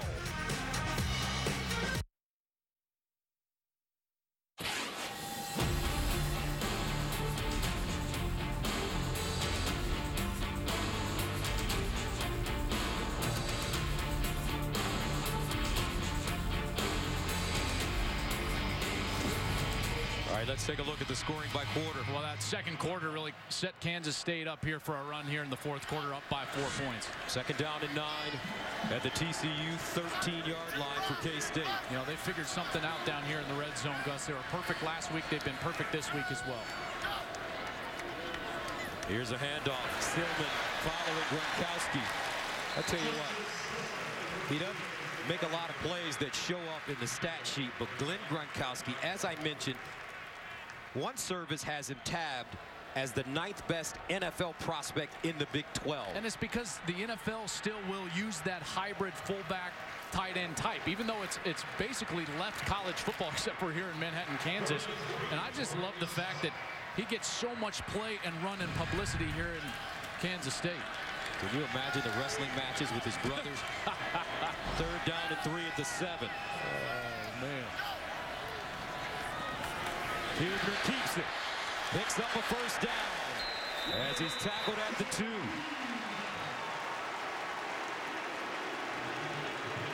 Tevin Lawson makes the stop. This is brilliant by their offensive line. Luke Hayes, number 68, actually doesn't block the defensive line. Then he gets up to the linebacker, and then that's where the read takes place. So they move the read from the end to the tackle who's not used to being in that situation.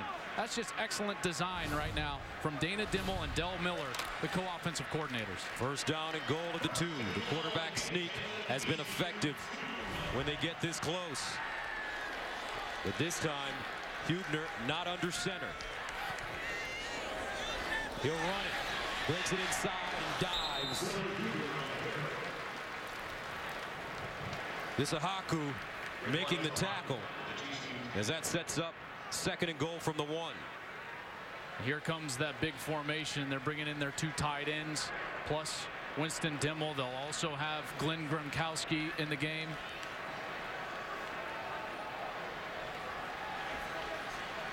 They've got 12 guys in the huddle right now.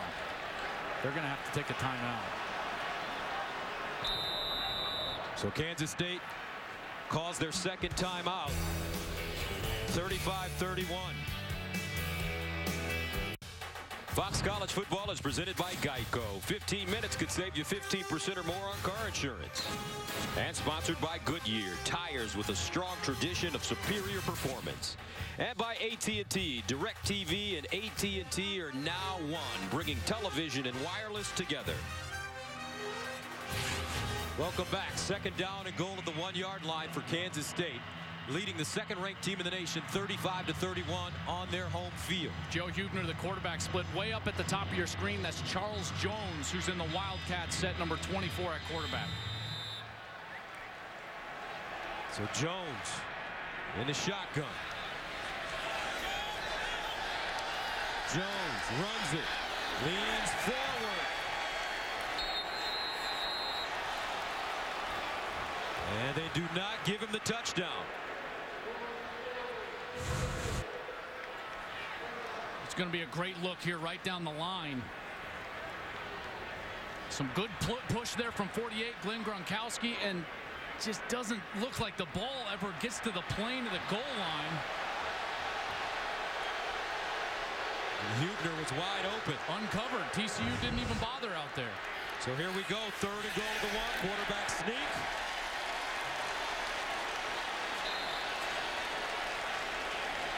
Touchdown. Fourth rushing touchdown of the night for Joe Hubener. The sixth rushing touchdown for K-State. There's that big formation again. The exact formation that they've run this quarterback sneak in all game long. And there's big number 38, Winston Dimel, 235 pounds, pushing his quarterback into the end zone.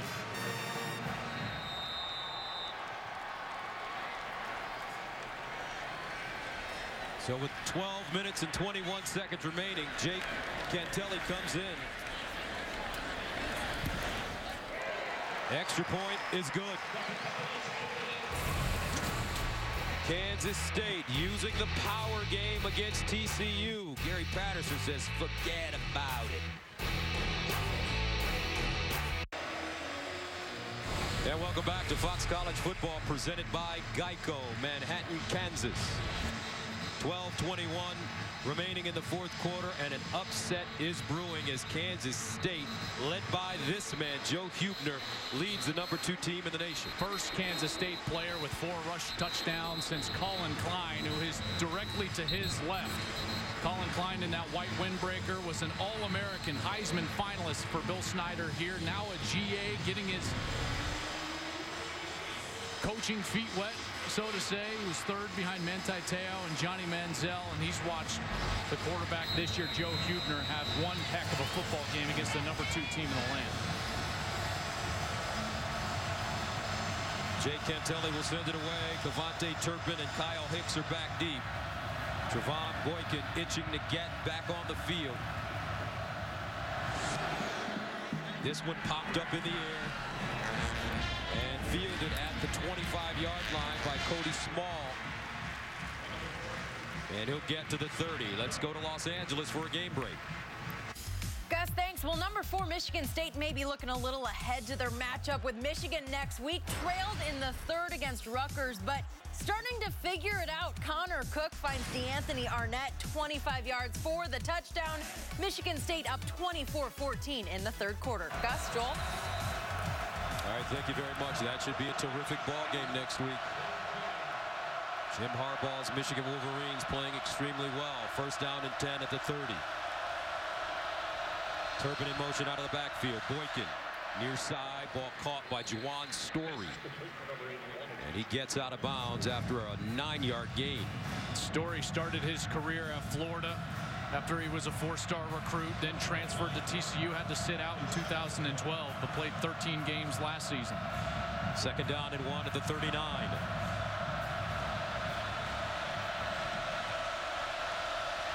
Boykin. Underneath incomplete. That ball thrown behind Turpin. You can see these young receivers are the only receivers that Boykin has a hard time with their timing and their spacing. The older guys, Doctson, Story, Listenbee, they're always in the right place at the right time.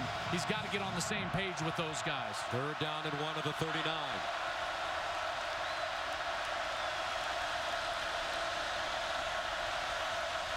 Boykin runs it, looking for the first down, has it, and more at midfield. He finally goes down at the 46-yard line.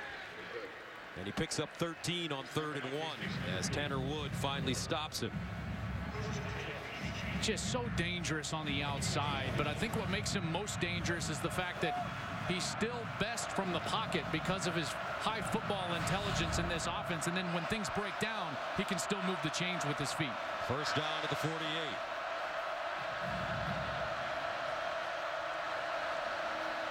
Aaron Green bottled up, navigating, and finally slides down at the line of scrimmage.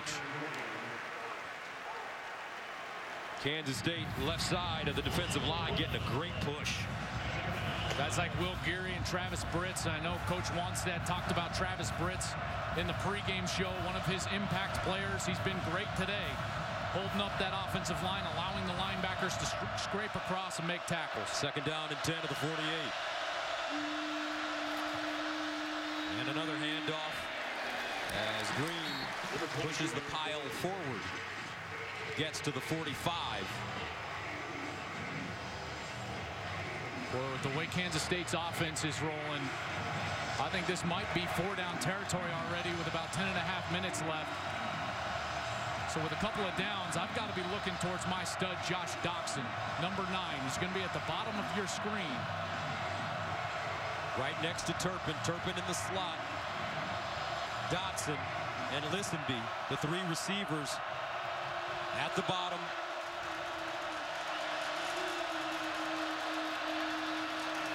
Here's Boykin to Doctson and a first down TCU. Good call, partner. So Trevone Boykin goes to his money player. And when you need big completions, when you need big plays, you've got to go to the most reliable sources of production. And right now, that's Josh Doctson. Six catches, 87 yards, and a touchdown. Boykin again to throw. Bouncing. Steps up. Looking. Decides to run it. All over the field. Boykin still moving. And finally hog-tied as he ran one yard and finally got stopped. I think he went almost 75 or 80 yards to gain the one yard. That's the line of scrimmage. That's a great job. Open field tackling by Kansas State. Second down and nine at the 34.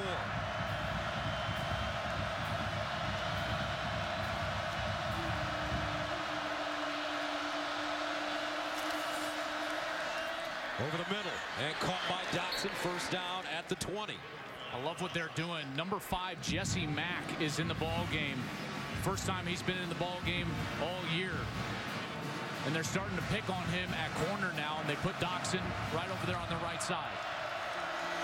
Now they're running, and it's Green.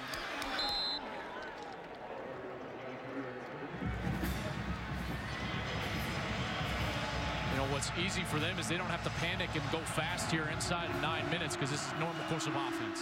They throw it far side, and it's Nixon, and he gets drilled. Terrific job by Sean Newland.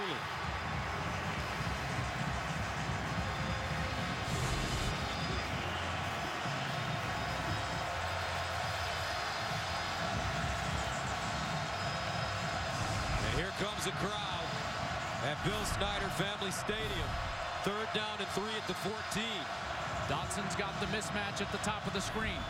Watch Ja'Juan Story at the bottom. He's got great size at 6'4".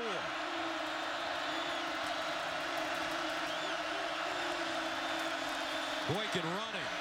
Turns it up. First down. Turns the corner. Dives! Touchdown! Trevone Boykin. Sweet feet. And TCU gets the 14-yard touchdown from their All-America quarterback. Boy, he turned the corner right there and just kept himself in bounds. Diving for the pylon, keeps himself off the ground, clearly in the end zone. What an amazing run from the Heisman contender. Going for two now. Down by five. Meacham, the offensive coordinator on the field. Gary Patterson out there as well. This is exactly what they've been trying to avoid all year. The coaches here in field to play past the numbers.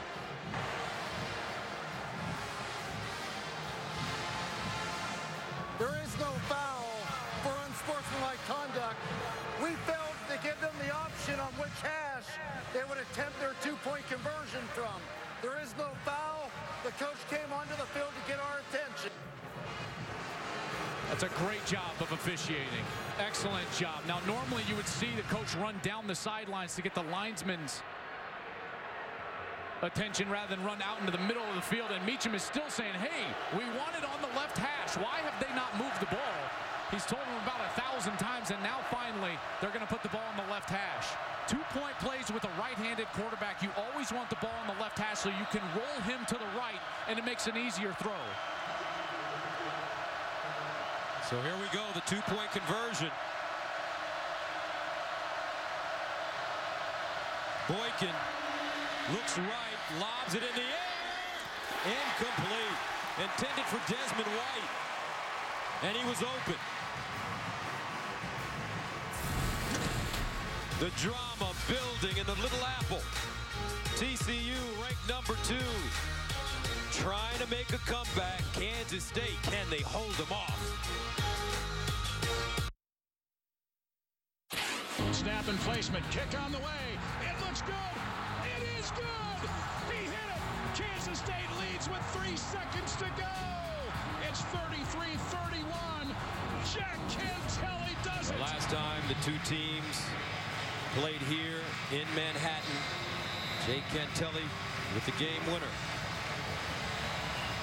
7.55 to go in the fourth. TCU sending it away as Heath will catch it eight yards deep and take a knee.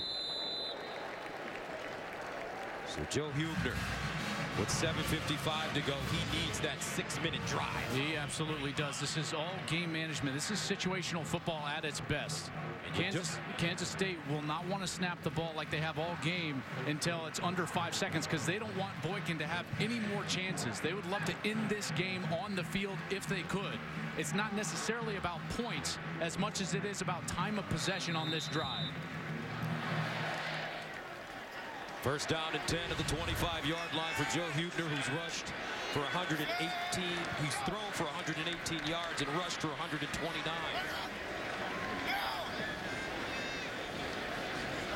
Klein in motion. Hubener, pump fake. Winds up. And broken up. Intended for Zach Reuter. But that ball broken up by Corry O'Meally.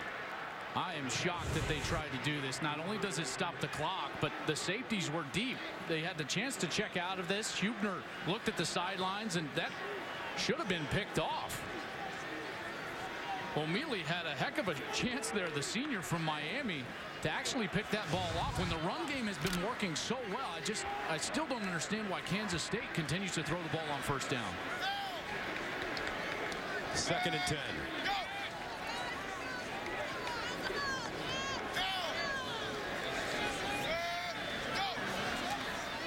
They'll throw it again. Near side ball caught. What a hit. O'Meally again as he roughed up Dominique Heath.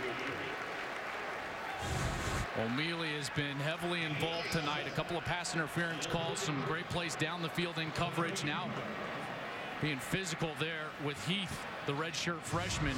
This is a huge third down. Trevone Boykin chomping at the bit on the TCU sideline to get back on the field. Empty backfield for Hubener.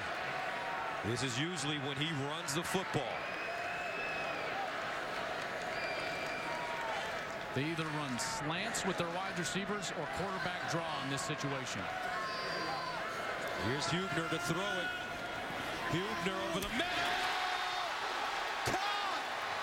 Deante Burton with a circus catch as he holds on and picks up a first down for K-State. He caught it twice. He hauls it in initially, and then the safety, as the safety was coming across, Ridwan Issahaku. he knocks it up, and Burton's still able. Oh, I don't know. I don't know about that either, because he hadn't controlled the ball before it touched the ground. The ruling on the field of a completed catch is under further review. And based on that last look, Doesn't look good for K-State. you know, it's not about the ball touching the ground, but in order for the ball to touch the ground, Gus, you have to have full control of it. And there's definitely not control on that play. Mike Pereira back in Los Angeles, our rules official. Are you seeing what we're seeing? I'm seeing exactly what you're seeing, Joel. You're going to see actually the ball roll out of his hands here, and then as he's going to the ground, the ball turns over his arm and hits the ground. So, to me, I agree with you. This is an incomplete pass. Have to have clear control, and when it hits the ground, you got to maintain that control. Didn't do it here, in my opinion.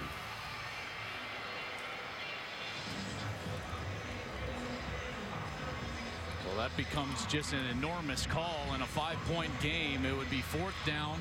Kansas State would be forced to punt. And how about the play by Ridwan Issahaku? Coming back from injury against Texas Tech, they had to start Michael Downing, a, walk-on. And Issahaku now comes back in, and him knocking that ball might have saved them here and got his offense back on the field. To say that I'm shocked that Kansas State threw the ball three straight plays. Didn't run it, didn't take time off the clock, especially if this is an incomplete pass. It's an understatement of all understatements, because I mean, at that point, they were forced to throw it on that third down. But the way that they've been churning clock and yards running the football, I thought that's exactly where they were, where they would go with Glenn Gronkowski and Issahaku just got his quarterback back on the field, it looks like. And again, these reviews take longer when they're going to change the call on the field because now they've got to go back and set the down and distance markers. They've got to set the clock properly because the chains have already moved. Given Kansas State a first down at the 41 yard line, they'll have to move back. They're trying to get all those specifics and logistics ironed out. After further review, the pass hit the ground. It's incomplete. It'll be fourth down and three from the 32-yard line, position one. Will the clock operator please reset the clock to 6.59. 6.59 on the clock, fourth and three. So Gary Patterson with a pep in his step now. As Nick Walsh comes in to punt it away. KaVontae Turpin. Gus, biggest thing for TCU right here, you cannot jump off sides. Kansas State in this situation likes to do that thing where everyone just puts their hand down on the ground quickly. They could get a free first down if TCU jumps off sides. Here's a snap. Walsh sends it away. High spiraling punt. Turpin back deep. And he has it at the 25-yard line. So one of the great players in America, Trevone Boykin, a Heisman candidate, gets a chance. 6.51 to go in the fourth. His team down. Fox College Football presented by Geico is sponsored by Colonel Sanders Kentucky Fried Chicken. It's still finger licking good.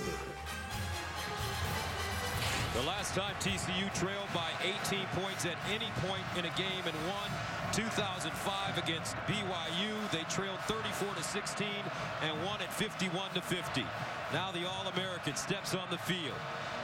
He'll start from the 25-yard line. TCU in this game trailed 35 to 17 at halftime.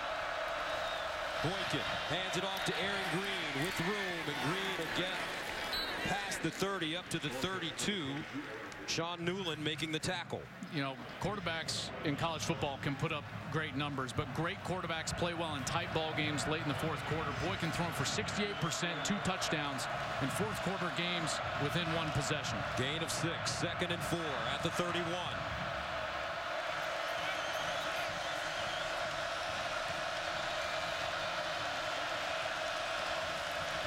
Boykin pulls it out, runs it, gets it first down and more. Trevone Boykin, burst of speed. Boykin still on the move. Boykin, touchdown TCU. Wow, 69 yards.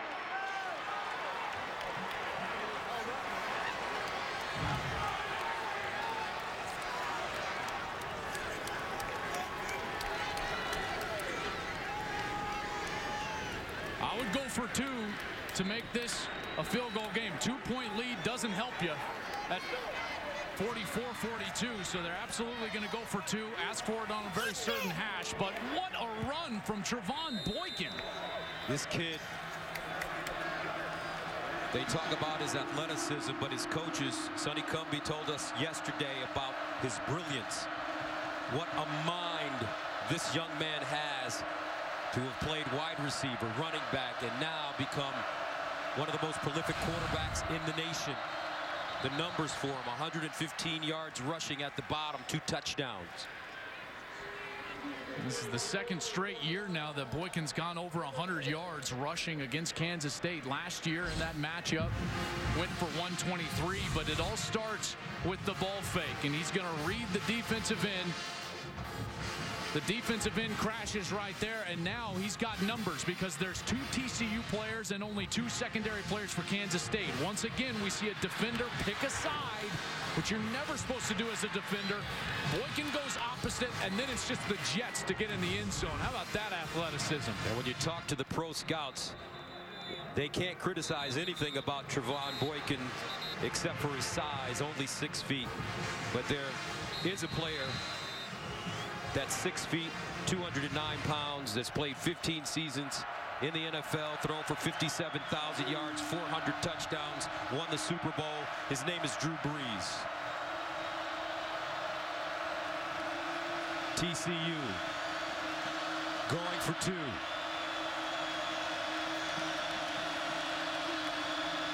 Boykin underneath. Turpin caught it, but a flag. I thought Turpin was leaning. Ball start. Offense, number 25. Yes, he was. Five-yard penalty. Trafford point. Here's Turpin right in the middle of your screen, and he was just a hair. Boy, that was ever so close. He's trying to get the step because he knew there was no linebackers there, and they're trying to complete that inside slant. Wanted to get there a little too quickly. So they'll back it up. Five yards.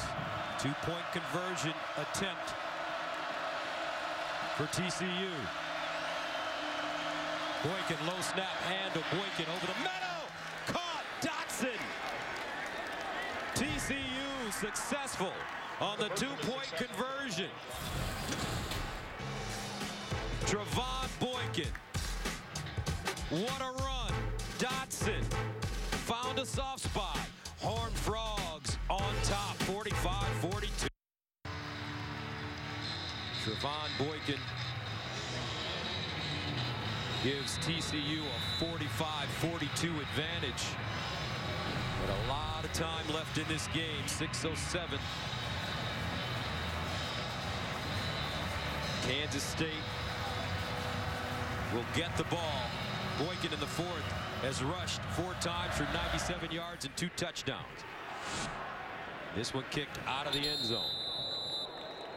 K-State will start from the 25. Gary Patterson, their head coach. We had a chance to spend some time with him in the team hotel, enthusiastic, nervous, proud of his guys. Of course, attended Kansas State, Gus, and as he told us, the homecomings are over. they, they don't treat me like a distinguished alum any longer. I'm absolutely the enemy. But now his team with a three-point lead. Bill Snyder. His team starting from the 25. Hubener throws it. Burton. As Hubener forced that one into a tight space. Boy, that was a great grab with the safety crossing in front of Burton's face. Excellent concentration hauling that one in for a first down. Burton has had a very solid game. Four catches, 57 yards. A gain of 15. First down at the 40.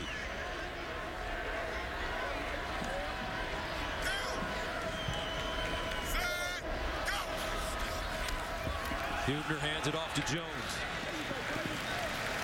They'll gain about five on the play. Travin Howard with the tackle. Clock not a factor. Kansas State can just operate their normal offense and after that first first down you're starting to see what what we saw more so in the second quarter and third quarter which is a deliberate pace here running the football from Hubener and company.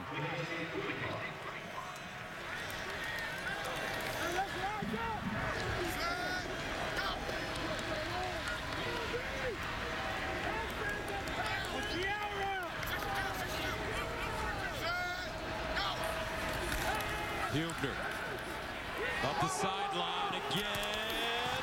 Incomplete flag. Intended for Heath. Denzel Johnson covering, and he'll be called for interference. Remember, there's no such thing as face guarding.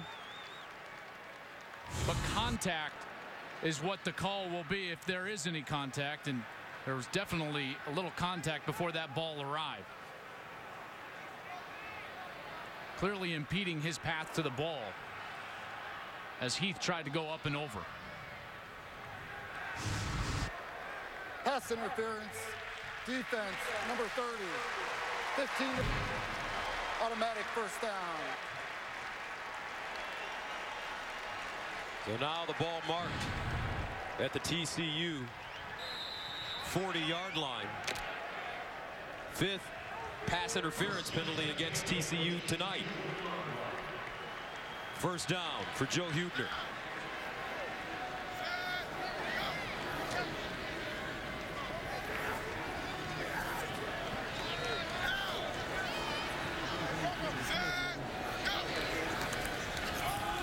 Hubener on the move.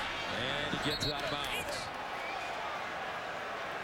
Denzel Johnson chasing him out of play. And it's a two-yard gain. Finally, these linebackers have stopped committing too early. I want you to watch the linebacker right here. It's actually the safety, Denzel Johnson, who's up in a linebacker position. But he's just going to wait for Hubener to actually break the pocket, and now Hubener's got nowhere to run. Second down and eight at the 37. 45-42 TCU. Hubener near side. Caught. First down, Kansas State. Once again, Deante Burton. He's a local kid from here in Manhattan. No emotion from the 76-year-old coach. And how about the methodical pace that we're getting now? Because now Kansas State trying to get the clock on their side, not wanting to score too early to allow Trevone Boykin another opportunity at this. First down at the TCU 29.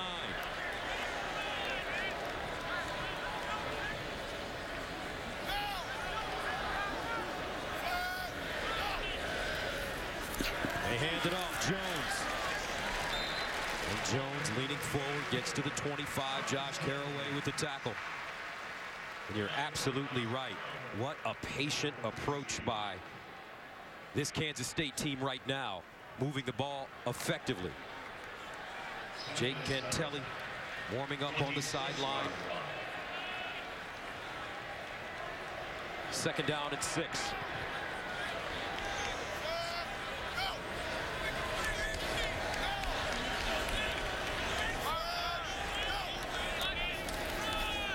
And Jones this time, he's chopped down to the backfield. Issahaku coming up and making another great play. Well, that's exactly what you want to try to avoid. He's going to come up and actually blitz from the safety position. And what I love about it is he shows it late after this Henner's head actually picked up. So Kansas State was unable to check out of that play, which they would have loved to once they seen that blitz. So a huge play coming up after the four-yard loss. Third down and 10 at the 29. K-State needs to get inside the 24 first down. Burton has been the man. Hubener. Near side. Caught out of bounds. Not enough for the first. This time it's Heath. Oh, what a decision Bill Snyder has to make now. They've been so successful on these one-yard attempts with a quarterback sneak, and they're going to send Cantele out and kick this thing to tie it up. Jake Cantele has not attempted a field goal in this game. He's flip-flopped in the starting job with Matthew McCrane this season. This from 37 yards away. And a timeout on the field.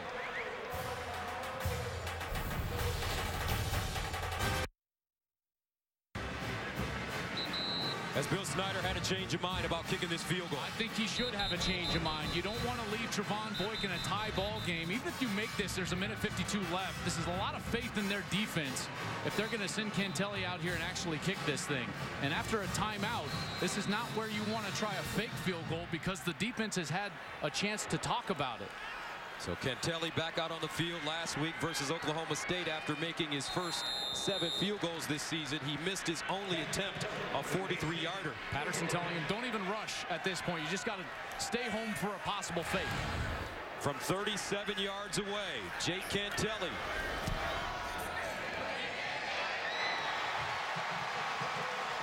And it's good. Cantele, ice water in his veins levels this game with 147 to go. But here comes Trevone Boykin. Jake Cantele with the 37-yard field goal ties the game at 45. I know you had a different opinion. You thought that they should have gone for it and not given Trevone Boykin and TCU an opportunity to score with a lot of time left on the clock. Very high percentage of their touchdowns happen inside of two minutes. So they're basically running their regular offense. They've got two timeouts. He's one of the best players in America. I thought that was Kansas State's chance to win the game right there. I wouldn't trust the defense, but Bill Snyder has won a lot of football games here, trusting a defense that's very fundamentally sound. Ian Patterson to kick it off. Turpin will get a shot. He's dangerous. Turpin to the 20. Turpin all the way up to the 35, make it the 36-yard line. So let's take a look at how we got here. I mean, what a game it's been just in the second half alone. Into the first possession of the second half, and it was Kindred that had the pick six. Then TCU got rolling. Kansas State in that run game. Hubener's fourth rush TD, and then it was all Trevone Boykin. Just a sensational run to give them the lead before Kansas State went all the way back down the field and tied it at 45. Trevone Boykin, first down at his own 36.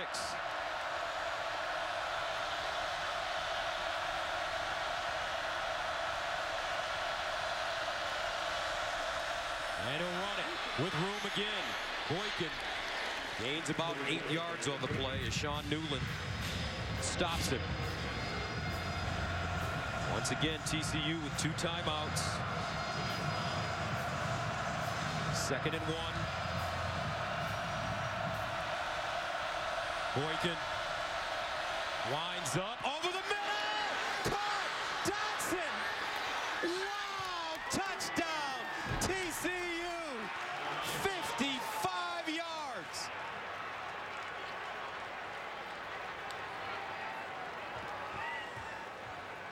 Right on the money.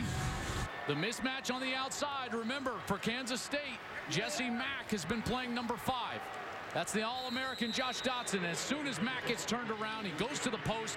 Boykin puts it on him in stride so he can run for a touchdown. That is too easy inside of two minutes. Doctson, eight catches, 155 yards, and two touchdowns. Extra point is good. TCU ranked number two in the nation. Why? Because they have two incredible talents. Trevone Boykin to Josh Doctson, 52-45.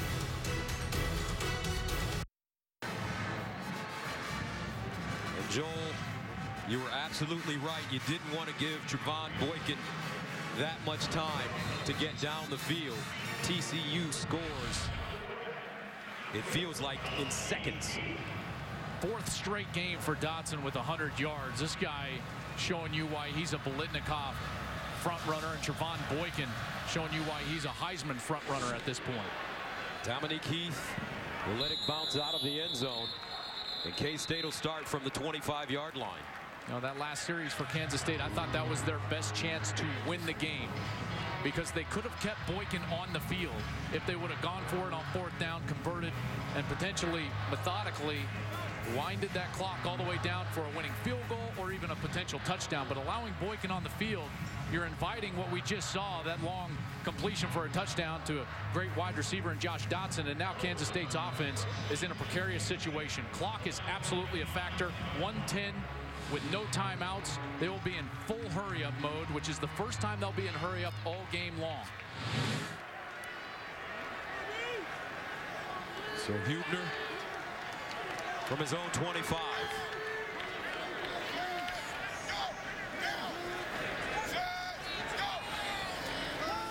Here's Hubener. Rolls out of the pocket. Throws. Incomplete.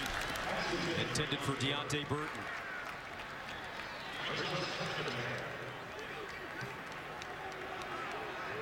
This young secondary for TCU. At this point, they're charged with one thing, deeper than the deepest. That's all they have to be worried about. Derrick Kindred, the senior, the veteran in that group, he's got to be communicating to all of his young players in front of him not to jump any short routes.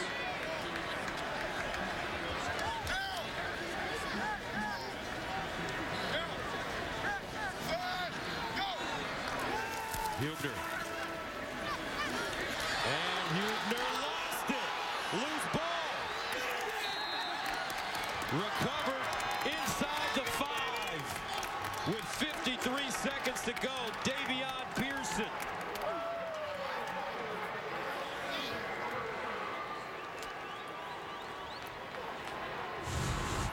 Here he comes. Here's the pressure. I believe that's Montrell Wilson, the true freshman linebacker. And it's just a delayed blitz. He held the ball, he held the ball, and finally that blitz gets home. And Wilson from Keller, Texas, gets the job done. Those linebackers had a bullseye on them all game long because they were young, they're small, 190 pounds for Howard, 208 for Wilson. And then they make the biggest play of the night, sealing this victory for the Horned Frogs. No timeouts for K-State and Hubener in tears on the sideline.